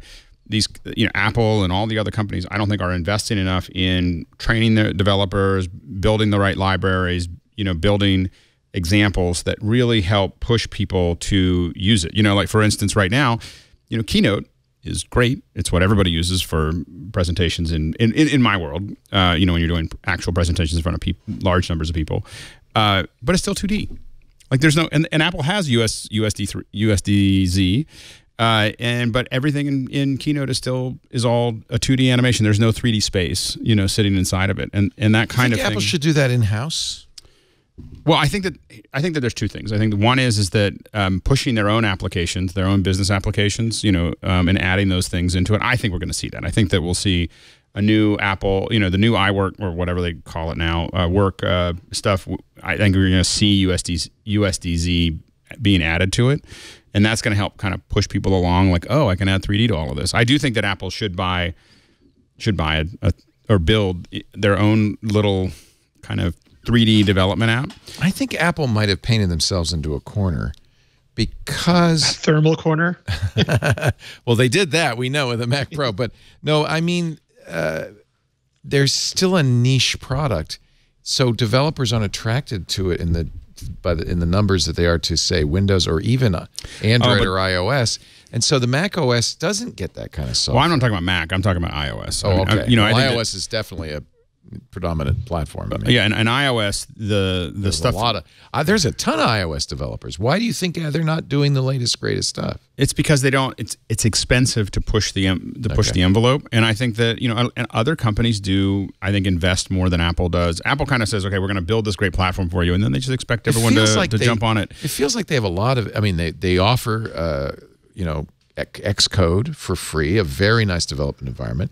They, it seems like they have a lot of resources for developers. They work pretty hard to reach out. I don't think to that reach. anybody does a does a great job of uh, educating developers on an everyday basis. You have a big you have a big conference. You have Google I/O and you have F8 and you have WWDC, and then you have you know great tools. But this is something that I think uh, That's an opportunity. you should be engaging. Yeah. you should be engaging folks every day, especially every young young people, every week, every day. because they're know, na- they're naturally going to want to develop for iOS anyway. right. So now teach them to use the latest. But not even just young people, but anybody who like the the the big thing is is that we have this huge gap of we have I mean, they made Swift. Isn't that part of why they made Swift? it's part of it. I think that there's still a huge gap between, and we talked about this on another show, but between shortcuts and Swift, there is a kind of a, a, middle ground. a middle ground of where I think something like a, a nodal composite, a nodal programming interface that is easy for the average person, and stop thinking about it being they have to be computer science folks, but really they have a problem they want to solve Yeah. at home, that they want to solve Yeah. at business, and they're going to develop it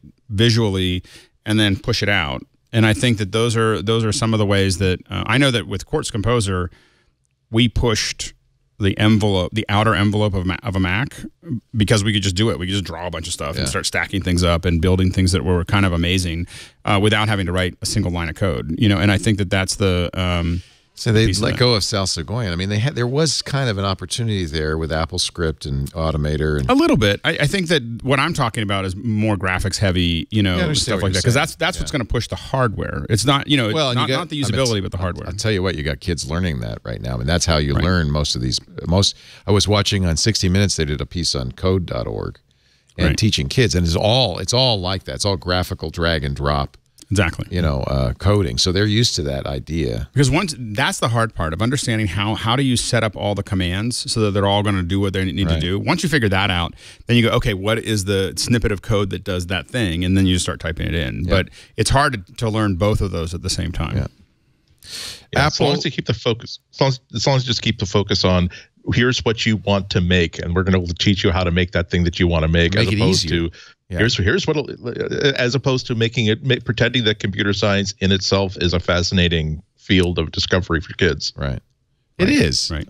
Uh, at least my- engineers oh, think it is. But no, I know. I know what you're saying.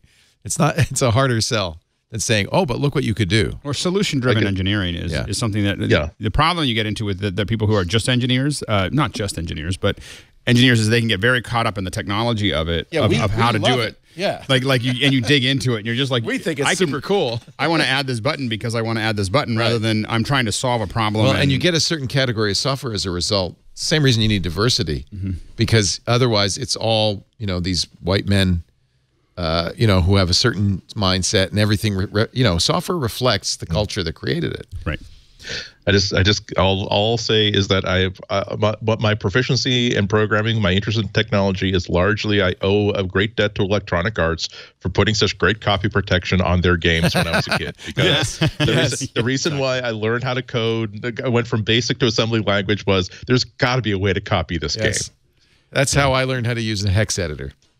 Um, one of our Is sponsors last year, or maybe the year before, was a, I thought, a really cool security camera called Lighthouse. Sad to say, Lighthouse is now defunct.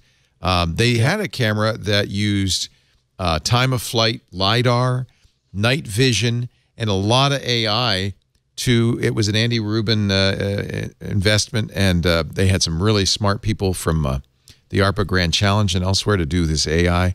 I used it. In fact, I wish I could still use it, but the servers have been turned off. What we didn't know when they and by the way, they bought uh, they paid everybody back who bought a lighthouse, which I'm grateful to because I would have felt very guilty pushing that product and people then couldn't use it anymore. But fortunately, everybody got theirs bought back.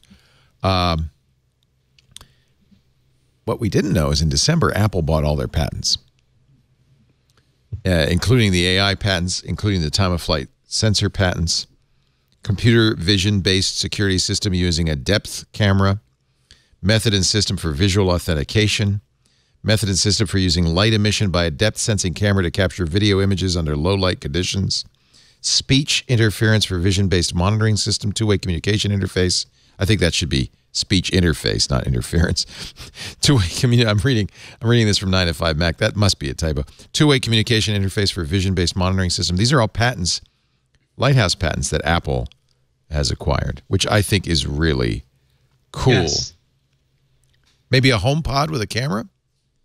Uh, anything that you want, like, because right now you can do Face ID up to about I forget what the 15 centimeters or some. It's got a very small depth of depth of face. But once you and they've already got plans to put the lasers on the back cameras, and whether it's you know for it's not really cross the room Face ID, but it's uh, across the room object identification that Alex has talked about before, where you, or we talked about earlier with the cars, you start to be able to not only define the, the exact parameters of your environment, but the objects within it, and you're basically teaching the computer to not just see a photo, but to understand everything that's in the photo. Not like humans do, but in a way that makes sense to computers and all the really other well. stuff you want inside it. Like I could look at my lighthouse and I could say, "Hey, let me know when Lisa gets home, and if let me know where the cats are." And it knew. I mean, it, and they weren't close. It knew it across the room. Oh, there's a cat. There's a dog. There's Lisa.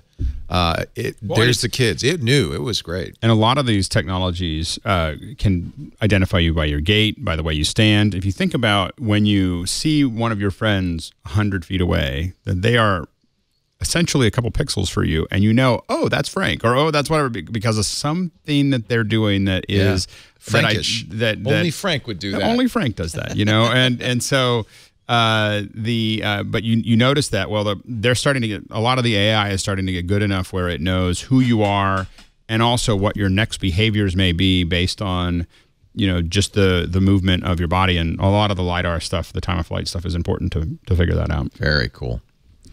The U.S. government is imposing new restrictions on shipping charged batteries.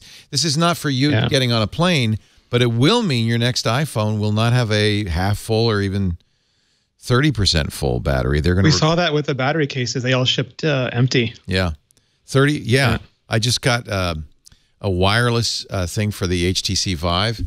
It, it was dead. I thought, oh, I gotta, I can't use it. I gotta charge it up. It took a long time to charge it up. I was so bummed. Uh, yeah, batteries, lithium-ion batteries will can be charged to no more than thirty percent. And this is also for for folks like me that do production. This is a pain.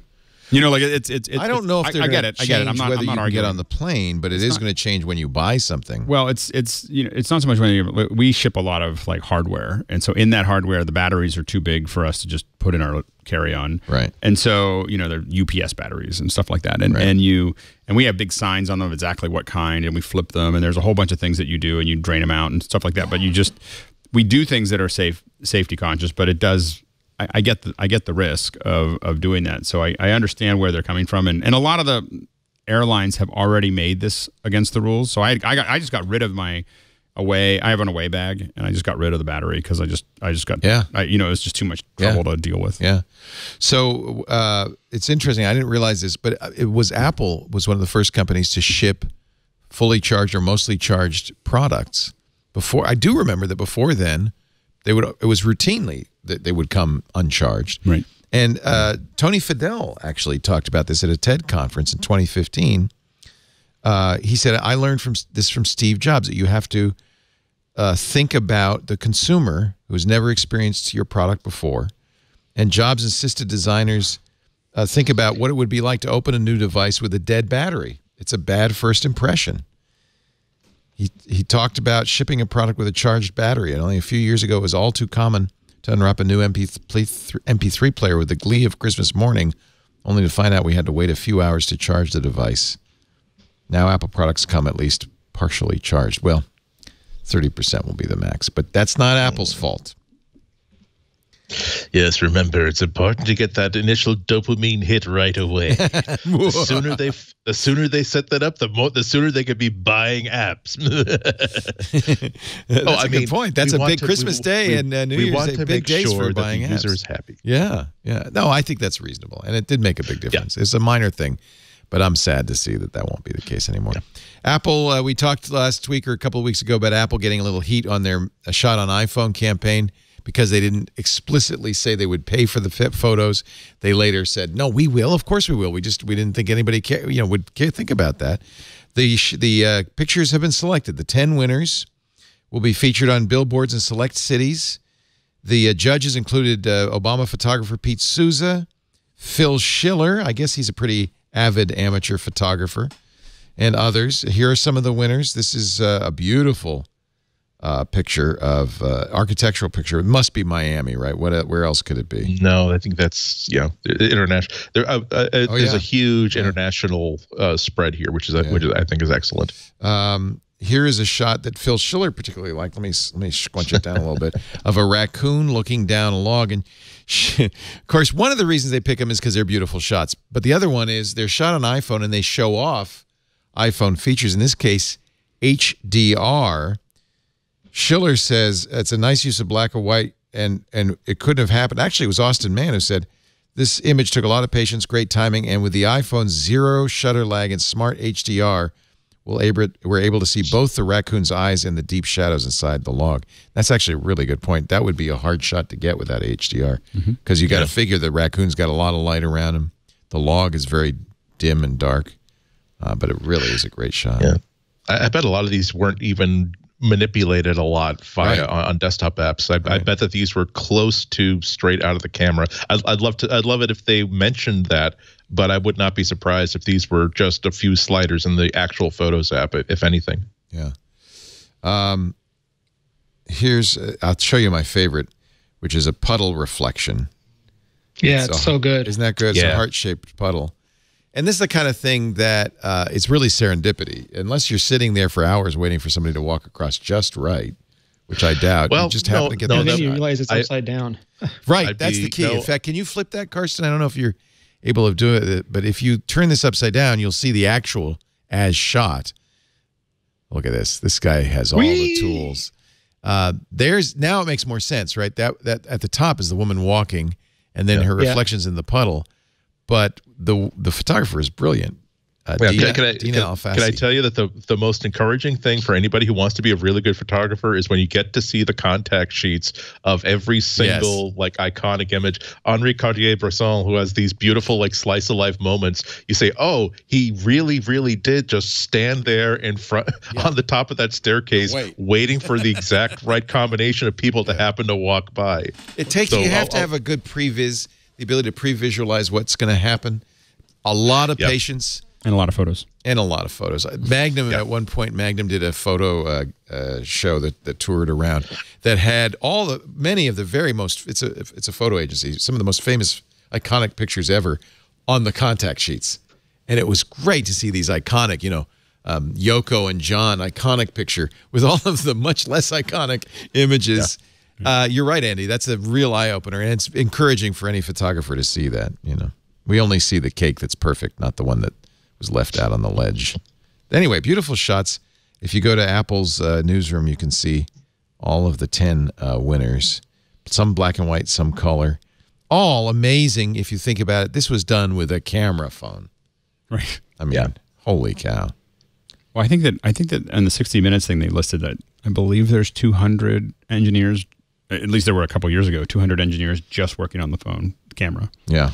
You know, like just just making sure that camera is getting they're getting the most out of the physics of it. Um, they've got a lot of large staff. I think Apple's smart too because you might you might say, "Oh, you know, the Pixel 3 has technically a better camera, the Galaxy 10 is technically a better camera." Apple's smart to emphasize the art, the emotion, the feeling The because results, yeah. honestly, uh, yeah, maybe you get better night sight on a Pixel 3 XL, but you, I've never seen better shots than I've seen on the iPhone. For somehow, Yeah. there's something about it; it just is able to get these incredible This is shots. and, yeah, and and this is why uh, reviews that go to like these real pixel peeping sort of hey we've magnified this a thousand percent so you can see the grain really misses the point. It's not just the it's not just the quality of the JPEG that you're getting out of the phone. It's also how fast was this thing able to take that picture? When you stabbed your when you suddenly saw your kid doing something adorable and you how fast was it between getting the phone out of your pocket to getting the camera app in front of the screen to stabbing your phone on top of that circle and getting the picture? Was there any sort of a lag? Was there any sort of a pause or a delay? Uh, where you did it give you a feature where you just held the your your, your thumb down on that thing and it took a million photos in one second and then pointed out the three that were actually very very good this is these are the things that the iPhones do exceptionally well, uh, and that's why it will always be at the very, very top of basically the maybe uh, uh, tied at worst tied for tied for uh, first place uh, amongst two or three people. It's just these little things that make it into a great, great, great camera. Yeah. Yeah. Let's take a break. Your picks, folks. Prepare them as I tell you about my pick for a VPN. I know more and more people are aware of the value of a VPN for protecting your privacy, uh, for protecting your security. And the real challenge is you go out there, if you Google VPNs, there's thousands of them. And the vast majority of them, and don't be tempted because they're really low price or cheap, but the vast majority of these are junk. They're not protecting your privacy or security. Uh, there's some of them insert ads into your stream. You need a good company, a company that protects you by not logging your activity. Uh, ExpressVPN is it. Number one on Tech Radar. That's that's votes from actual users. It comes with a 30-day money-back guarantee. It's not the cheapest VPN out there, and I know that. And you don't want it to be because honestly, it's expensive to run all the servers that they run and make sure they all have enough bandwidth so that the VPN doesn't slow you down. You know that that is not something you can do inexpensively. So any VPN that's free or cheap, there's a there's they're making money on you somehow, or their service is going to be terrible. ExpressVPN is awesome. Less than seven dollars a month, you get the same ExpressVPN protection I use every day. It is fantastic. They are uh, not owned in the United States, so that's good too. I think there's some people are looking for that, but they do have servers all over the world, and that means you also can get around if you're worried about that. You can get around um, what we call geographic restrictions. It's very, very handy to be able to emerge in the UK or in Singapore if you want to watch content on TV from those countries, for instance. Plus, it's encrypting everything. So the you know the guy in the hoodie in the coffee shop next door is not going to be able to see what you're doing. It's easy to use on every platform. They have apps for Mac, Windows, iOS, and Android. And these apps are easy to use. They run seamlessly in the background. One click turn on, one click turn off. So when you say, "Oh, I think I'm going to be safe right now. That guy looks a little shady." Boom, you are. ExpressVPN lets you safely surf on public Wi-Fi without being snooped on or having your data stolen or hacked. And I know a lot of people use ExpressVPN even at home because they don't want their internet service providers snooping on them. Protect your online activity today. Find out how you can get three extra months free when you buy a one-year package. That's the best deal out there. ExpressVPN.com slash MacBreak. ExpressVPN.com slash MacBreak. And I was reading a news story. Where was it? Um, maybe it was Turkey. Uh, the government seized ExpressVPN uh, servers because Yeah. they're trying to track down a dissident. There was nothing on them. They couldn't do anything with it.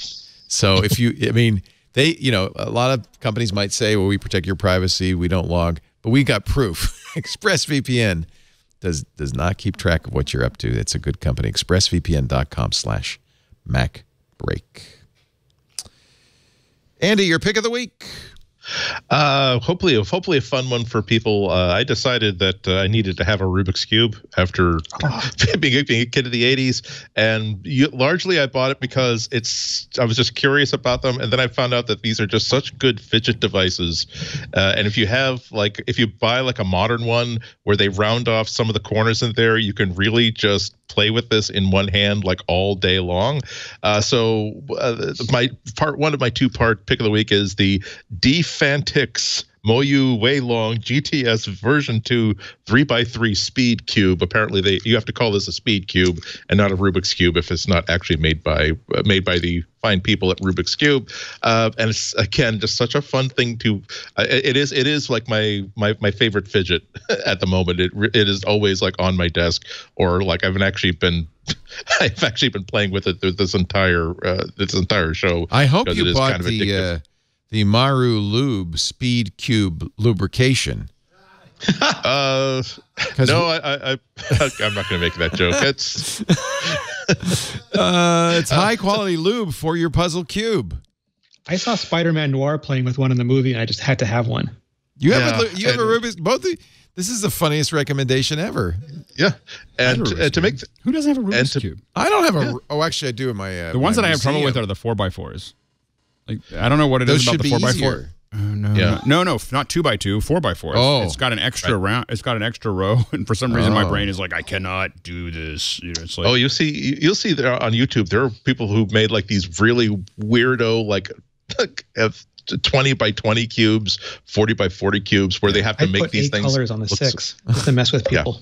It's weird, but the, the but the other but the other th- uh, the the the uh, Mac and I, Apple sort of twisted this is that uh, a really great app on the iPhone called Magic Cube Solver.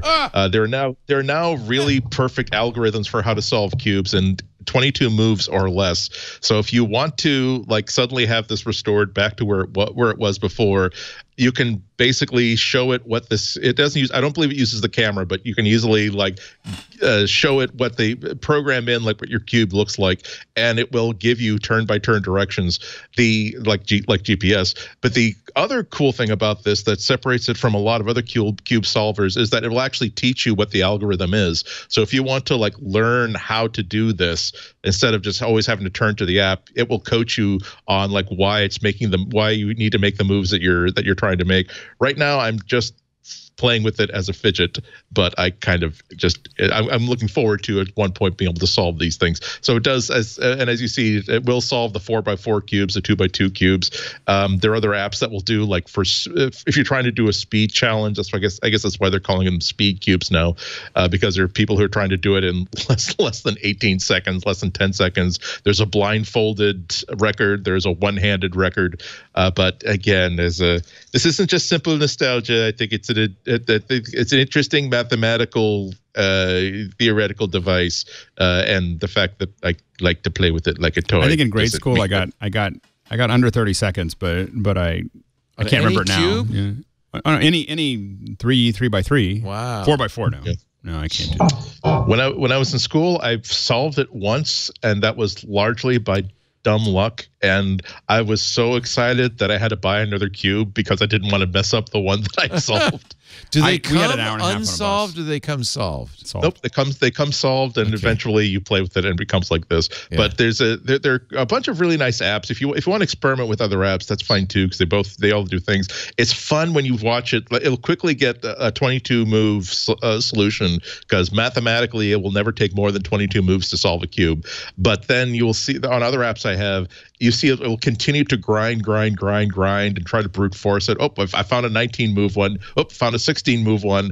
And you kind of like, I know that I'm not connected to AC power, but I really want to see this. I really want to run down this entire battery, trying to see if it can how how small and efficient a solution it can actually make. Anyway, have you, I- have you I- seen the uh, world's fastest uh, Rubik's cube solver made from Lego Mindstorms? Oh God, I've seen that one. Yeah. see, au- Two seconds. see, automation is going to take away so many jobs.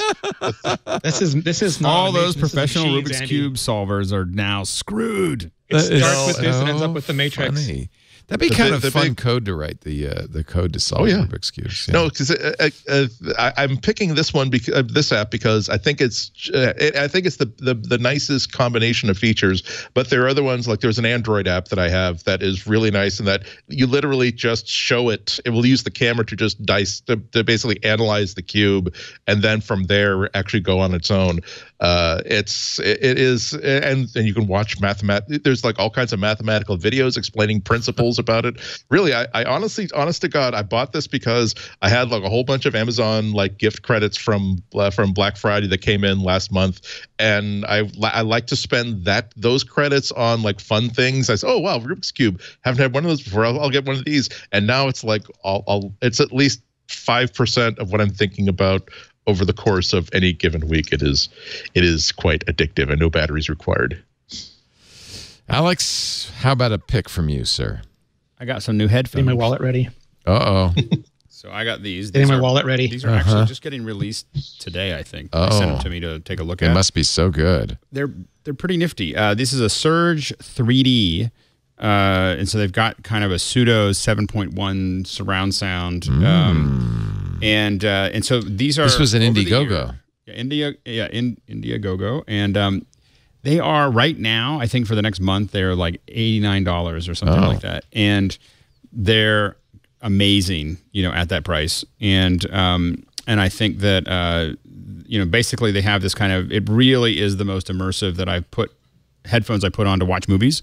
That's how I tested it. I put it on and I watched Live, Die, Repeat, or Dead, Die, Live, Repeat, or whatever that that and, and that surround sound happens to be really good, and I happen to know it because I've got a system in my house, and so I'm, I, I- it's one of the ones that I kind of tested on that and Saving Private Ryan, and uh, it just really feels. I suddenly realized how much I was losing on the plane listening with my AirPods, you know, just watching movies. it just it feels like it's all around you. And one of the things that they added, I thought that that was actually pretty useful. They've got wired, it's got Bluetooth, and they also have a little, um, you know, can- noise canceling uh, uh, microphone that you can attach to it, but you don't have to keep it on there. And what's nice about that is you don't have to take it out and um, you know take off your headphones to answer the phone. Uh, you can just you can simply just if a phone call comes in, you can actually answer the phone with it. Um, it's not. I don't think that the, the audio. Uh, I tested it. I, I called some fr- friends. I, I called my my Uber tester Fred. Fred, if you're listening, and uh, we all decided that it's not as good as the AirPods as far as the quality of the audio, um, but it's still much better than me having to put nice over the head, over the ear uh, headphones on, and then have to change them out when I want to talk on the phone. And it worked perfectly uh, for me.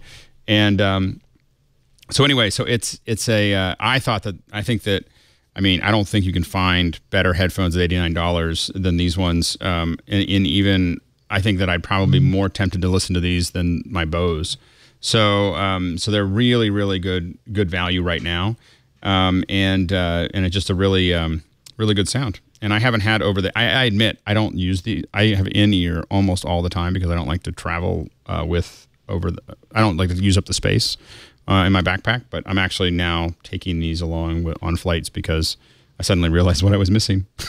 I was like, "Oh, it is a lot nicer when they're over your ears." And and again, it it uh, you can also control the movie with the headphones. So you, if you have it sitting out there, you can tap on it and you can answer for calls and and other things with the uh, uh, a little bit more control than you actually have on your on your um, AirPods. So. Um, it's a slick slick head, headset, um, and uh, again, I think it's an incredible value uh, right now. So if you're if you're interested in over the head, um, they're really into the the cushion. It is very comfortable. I, I had it on for hours and didn't realize that.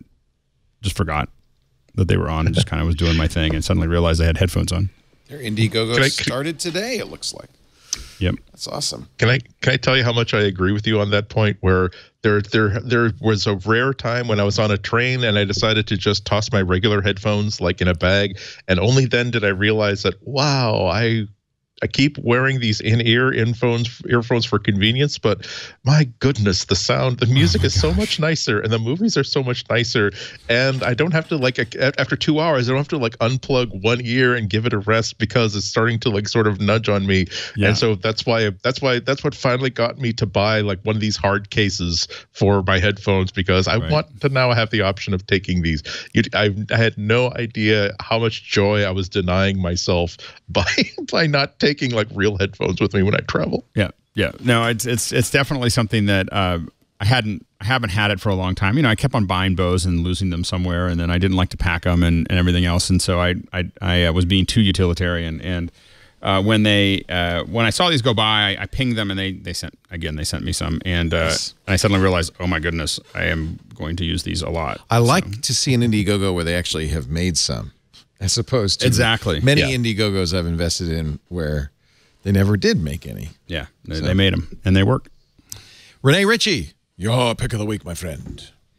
Yeah, so my pick of the week is something that I've, I've been wanting to do for a while, and that was to take my YouTube videos from 16 by 9 to 2 point to 2 by 1 because that better suits the aspect ratio of iPhone 10, Galaxy S. You know, all, all the new flagship phones are big and tall. Uh, you know, Sony is ridiculously so now, but the 16 by 9 were just putting too much pillar box on the side. So I wasn't sure how to do it. I asked Jonathan Morrison, who's a really well-known, really make beautiful YouTuber, makes absolutely gorgeous videos, and he convinced Marques Brownlee to do it. So I asked his advice. I've been working on it for a while. I finally have a workflow that I really liked, and I was starting to get asked about it. So I I decided to make a tutorial that shows how you get your footage in, how you you know, I still shoot in 16 by 9 because I want the extra pixels. I don't want to throw them away. But this shows you how to how to get the the two by one project, how to fill it out so that you don't have the pillar boxes, how to adjust it if you need to, how to deal with legacy plugins that aren't shaped for two by one that are still 16 by 9 so they they stop short of the edges different ways to fix those and also just little tips and uh, jonathan was nice enough to add some tips of his own uh, towards the end of the video. So if you use final cut pro and you're at all interested in two by one two colon one two aspect ratio one video then this will walk you through the the entire process from beginning to end. I'm just so glad you're not talking about one by two. That's no no alex. And shout out to judd who's there in that video. He does all the awesome video stuff at apple We just we get we get that request, and you're just like, mm. the, the only thing worse than one by two is one by one. yeah. What is one by two? What would that even look like? It's like? real. It's it's not really one by two. It's it's it's it's nine like by instagram It's not the, the TV? six, nine by sixteen. It's like the vertical for Instagram and and and Snap and everything else. People want to do videos long I and thought Instagram was Here's- square. here's what I would say is that it actually, if you're talking to, if, it, if you're just a talking head, it actually works better. I will admit, if you're just talking head, someone's going to watch that, look at their phone, and you're not One by showing them two is anything. better. A one by two is better. Oh, that's vertical video, of yeah, course. vertical yeah. video Yeah. is better when you're just a person talking to other people. Sure. It looks better. It's better for them. As soon as you want to show them anything, it becomes really yes not great.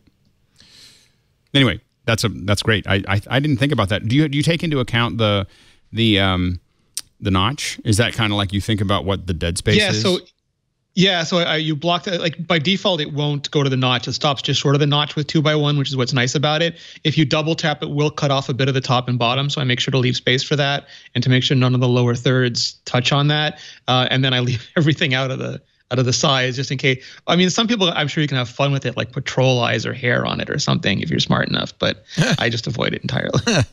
Actually, everybody's complaining about the uh, hole punch on the Galaxy because Oh, but the wallpapers are so good. It's like they put like minion goggles Yeah. on it, and they Yes. it's um, the wallpapers are amazing. they're having fun. Actually, I saw one that took a sideways iPhone uh, 10s, and because that not the hole punch is, about the, is about the same as the camera.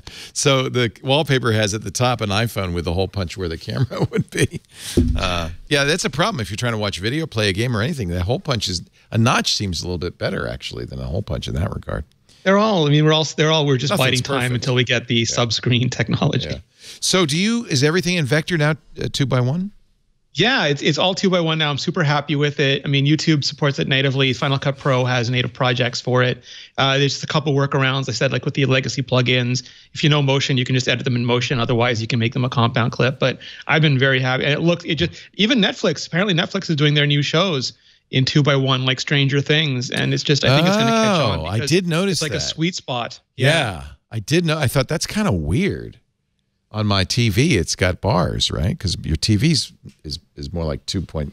We get a lot of movies that are like two, three, five, which is even 16.9 is more, really good. more One, yeah. That's even more dramatic. This is sort of like between two three five and Yeah. and sixteen by nine. Rene Ritchie's Vector is at imore.com slash vector. His writings at imore. You must follow him. And of course, that's where his article on how to make two by one with Final Cut Pro 10 is. Thank you, Rene, for being here. Really appreciate it. Always Thank you. great to have you. Alex Lindsay, uh, you can follow him on the Twitter. He's the pix- the guy, the man from the Pixel Corps. A L E X L I N D S A Y. Anything coming up? Nope. And then other than other than me complaining about the Oscars, I think that was my on Twitter. Well, you saw that Steven Spielberg said, "I That's I don't was think we should about. ever nominate anything that didn't uh, show cinematically in a theater." That's exactly what I was He's- talking he about. wanted to change the rules so that Roma could not have been nominated, and I think he's so wrong. I think the bottom line is, Yep. is that most of the viable movies uh, that for Oscars in ten years are going to be all Netflix and everything else because no one's going to make movie. No one's going to make that kind of movie for big screens. Big screens are going to become events. They're Spielberg be- says that's not movie; that's made for TV. Yeah, yeah, And that's because, of course, his first big movie was made for TV. But Yeah. So don't- that's He's not the so same. salty. Made for TV back then is not the same as Netflix today. Yeah, 'cause it, would- it would be an awful, awful thing if everybody who watches the Oscars had seen every single movie, including the documentary features that are nominated. Because the last thing we want is for people to be actually have That's an emotional investment in who wins. That's a very, very good point. Yeah. Uh, The the, uh, the the danger comes back to Hollywood. If if Hollywood actually did that, the smart thing to do would be to create another uh, award The Yes. awards, the streamies. and then just well, uh, and I, I wouldn't take the ones that already exist. I'd just build one and re- redesign it for the online audience and and recreate something. And within ten years, again, it would be no one would be paying attention to the Oscars. Well, this is where the Golden Globes has a little bit of advantage because they do TV, they do movies, they do whatever they want. Right, right, And I think it's actually a more representative. You can, it's ridiculous to say, oh, we'll only uh, give an award to poetry written in blank verse. If it rhymes, well, we just can't. have Because iambic pentameter, then yeah, no. yeah. If it's not, amb- yeah, iambic pentameter or Yeah, nothing. exactly. And that's you know that's just not art. Is doesn't depend on the medium. Art is art. folks that are very connected to the old film school and the twenty three nine eight and all that other stuff is all you know they're just hanging on as best they can. I thought Roma was easily the most amazing movie of the Oh, year. good. Really loved Roma. Haven't seen it yet. It's shot. Uh, in fact, I, I was meaning to ask you uh, about it. It's shot in uh, digital black and white. They're using um, six, what is it, Alexa 65 camera, which is an Arri digital camera. Everybody uses the Alexa. Yeah, camera. In fact, I- features, yeah. yeah, I think in fact Stranger Things is shot on it. But uh, the black and white is beautiful. The tonal range, the quality is amazing. there's a milky- It's HDR. there's a milky kind of smoothness that the That there's no other camera that I've shot on. I, I my my brother uh, is an snob. Like he will not like he, he mostly does really high end uh, work, and so he's just like oh he just uses. And I and I give him a hard time because I use my Blackmagic cameras and everything else. And but I will admit that there's a in good lighting, uh, the I don't see much difference between my Blackmagic Mini Ursas and and his and his but uh, in in movie film filmmaking, uh, Oh yeah, yeah, yeah, yeah, yeah. So um, Can't call anyway, it the Alyosha. It's a camera. the camera. I'm not talking about. thing, so- Sorry. Anyway, so Sorry. What can I do? I can't help you. so anyway, the um uh um anyway, so so so the I like- I it's, like it's a gorgeous it's just a gorgeous chip. It's a and, and Must they've, be they've because taken I- over. it's HDR black and white. This Roma, you got to watch it. It's, Well, it's- on an HDR well, screen. It's, it's- incredible. yeah, what the HDR is basically what they're doing is they're shooting the can they're shooting the whole thing in what's called log. You know, an ARRI log is the the thing you- you're shooting at log, which is a much wider uh, gamut, and then you convert that to HDR later. Right. So and and all films were kind of built that way. That's why they, all these old films can come out in HDR. Right. Is because they were all the film response was typically a log. Uh, Right. When it was scanned, it was a log Right. uh, response, and so so that is the um, so there, you're just able to reconvert it back to BT 2020 and then into Dolby Vision or um, See, I knew I, uh, you were the guy to ask. Uh, it's the other thing is Cuarón uh, was his own DP. My guess is DQ he was 2020, by the way. he was carrying the Alexa 65 and shooting it, so it's very cinema verite feeling. But he also does some very unusual framing. You, you as a film No, buff, I- I- want to see it. I just haven't gotten my. He's a great Foreign director. films, I always have to kind of warm up to, like, oh, man. No, I thought the same thing. and and by the way, the first shot is six minutes long and really slow, and it's going to irk you. Well, and, and I But get- then you're going to kind of get it. once I get into it, like my uh, my wife was watching um, uh, the dragon tat, the girl with the dragon tattoo, and I was like, oh, don't even like the Sm- the Swedish ones are so much better, and like don't even bother with the American versions because the Swedish ones. And she was like, I don't want to watch all the subtitles. And then the as soon Swedish as ones were better. And the Yeah. problem is they're no longer on Netflix, so you have to Oh. watch. You have to watch one on Vudu and another one on this. And you have to like bounce around finding like it's like this little. They were and truer to the book. You have to go. You have to go to Amazon Prime, and you have to subscribe to the horror thing for two dollars, and then watch it, and then immediately cancel it. You know, like just, just to watch the girl with the dragon tattoo. But it's they are infinitely better than than the American versions. I agree. Get in, watch it on a on a high quality. I watched it on my OLED HDR. Watch Roma, and uh, you know on a high quality. Oh, set. yeah. I think you will really appreciate it. Can't wait. And it's and it's why I completely disagree with Steven Spielberg. That movie was as artistic as any movie nominated this year. It's rumored that they spent 150 million dollars on promoting it to get the Oscars. Roma, yeah, Yeah. That's what Spielberg didn't like. That's what it is. yeah. That's what Spielberg didn't like. He said, "Ah, these these Aravist, you know, dot comers. They got too much money." I mean, it was seen as like it was seen as as as uh, a bit gauche when Miramax spent 25 million promoting something. You know, is the you know now they're in a whole Shakespeare world. in Love, yes. oh, that's right. But that was a great movie. Deserved to win. Wait until the wait until all the sports. No, you didn't contracts like come up. Shakespeare in Love. I liked it. Yeah. Yeah, yeah. Wait until you wait until all the sports contracts come up, and uh, the the the FAANG group just takes them all. You know, like you know, they're broadcasters can't compete now. Like That's they're really they're true. Out so of their money. out of their league. Yeah. So the first one's NFL in 2021. Yeah. Can't wait. Oh, that's interesting. Popcorn, please. Oh, that'll be really interesting. Yeah. yeah. Well, That's maybe for maybe I'll be able to finally see see Bob's Burgers at its appropriate time instead of 45 minutes delayed. That's Boo, Andy boo, hoo, Ihnatko. Catch him Fridays, WGBH Boston, Boston Public Radio, and of course every Tuesday right here on Mac Break Weekly. Thank you guys for being here. We do MacBreak Weekly. We're going to uh, enter finally in the United States. We're entering summertime on Sunday. So Spring. uh, we normally shoot this uh, show at around 11 a.m. Pacific, 2 p.m. Eastern Time.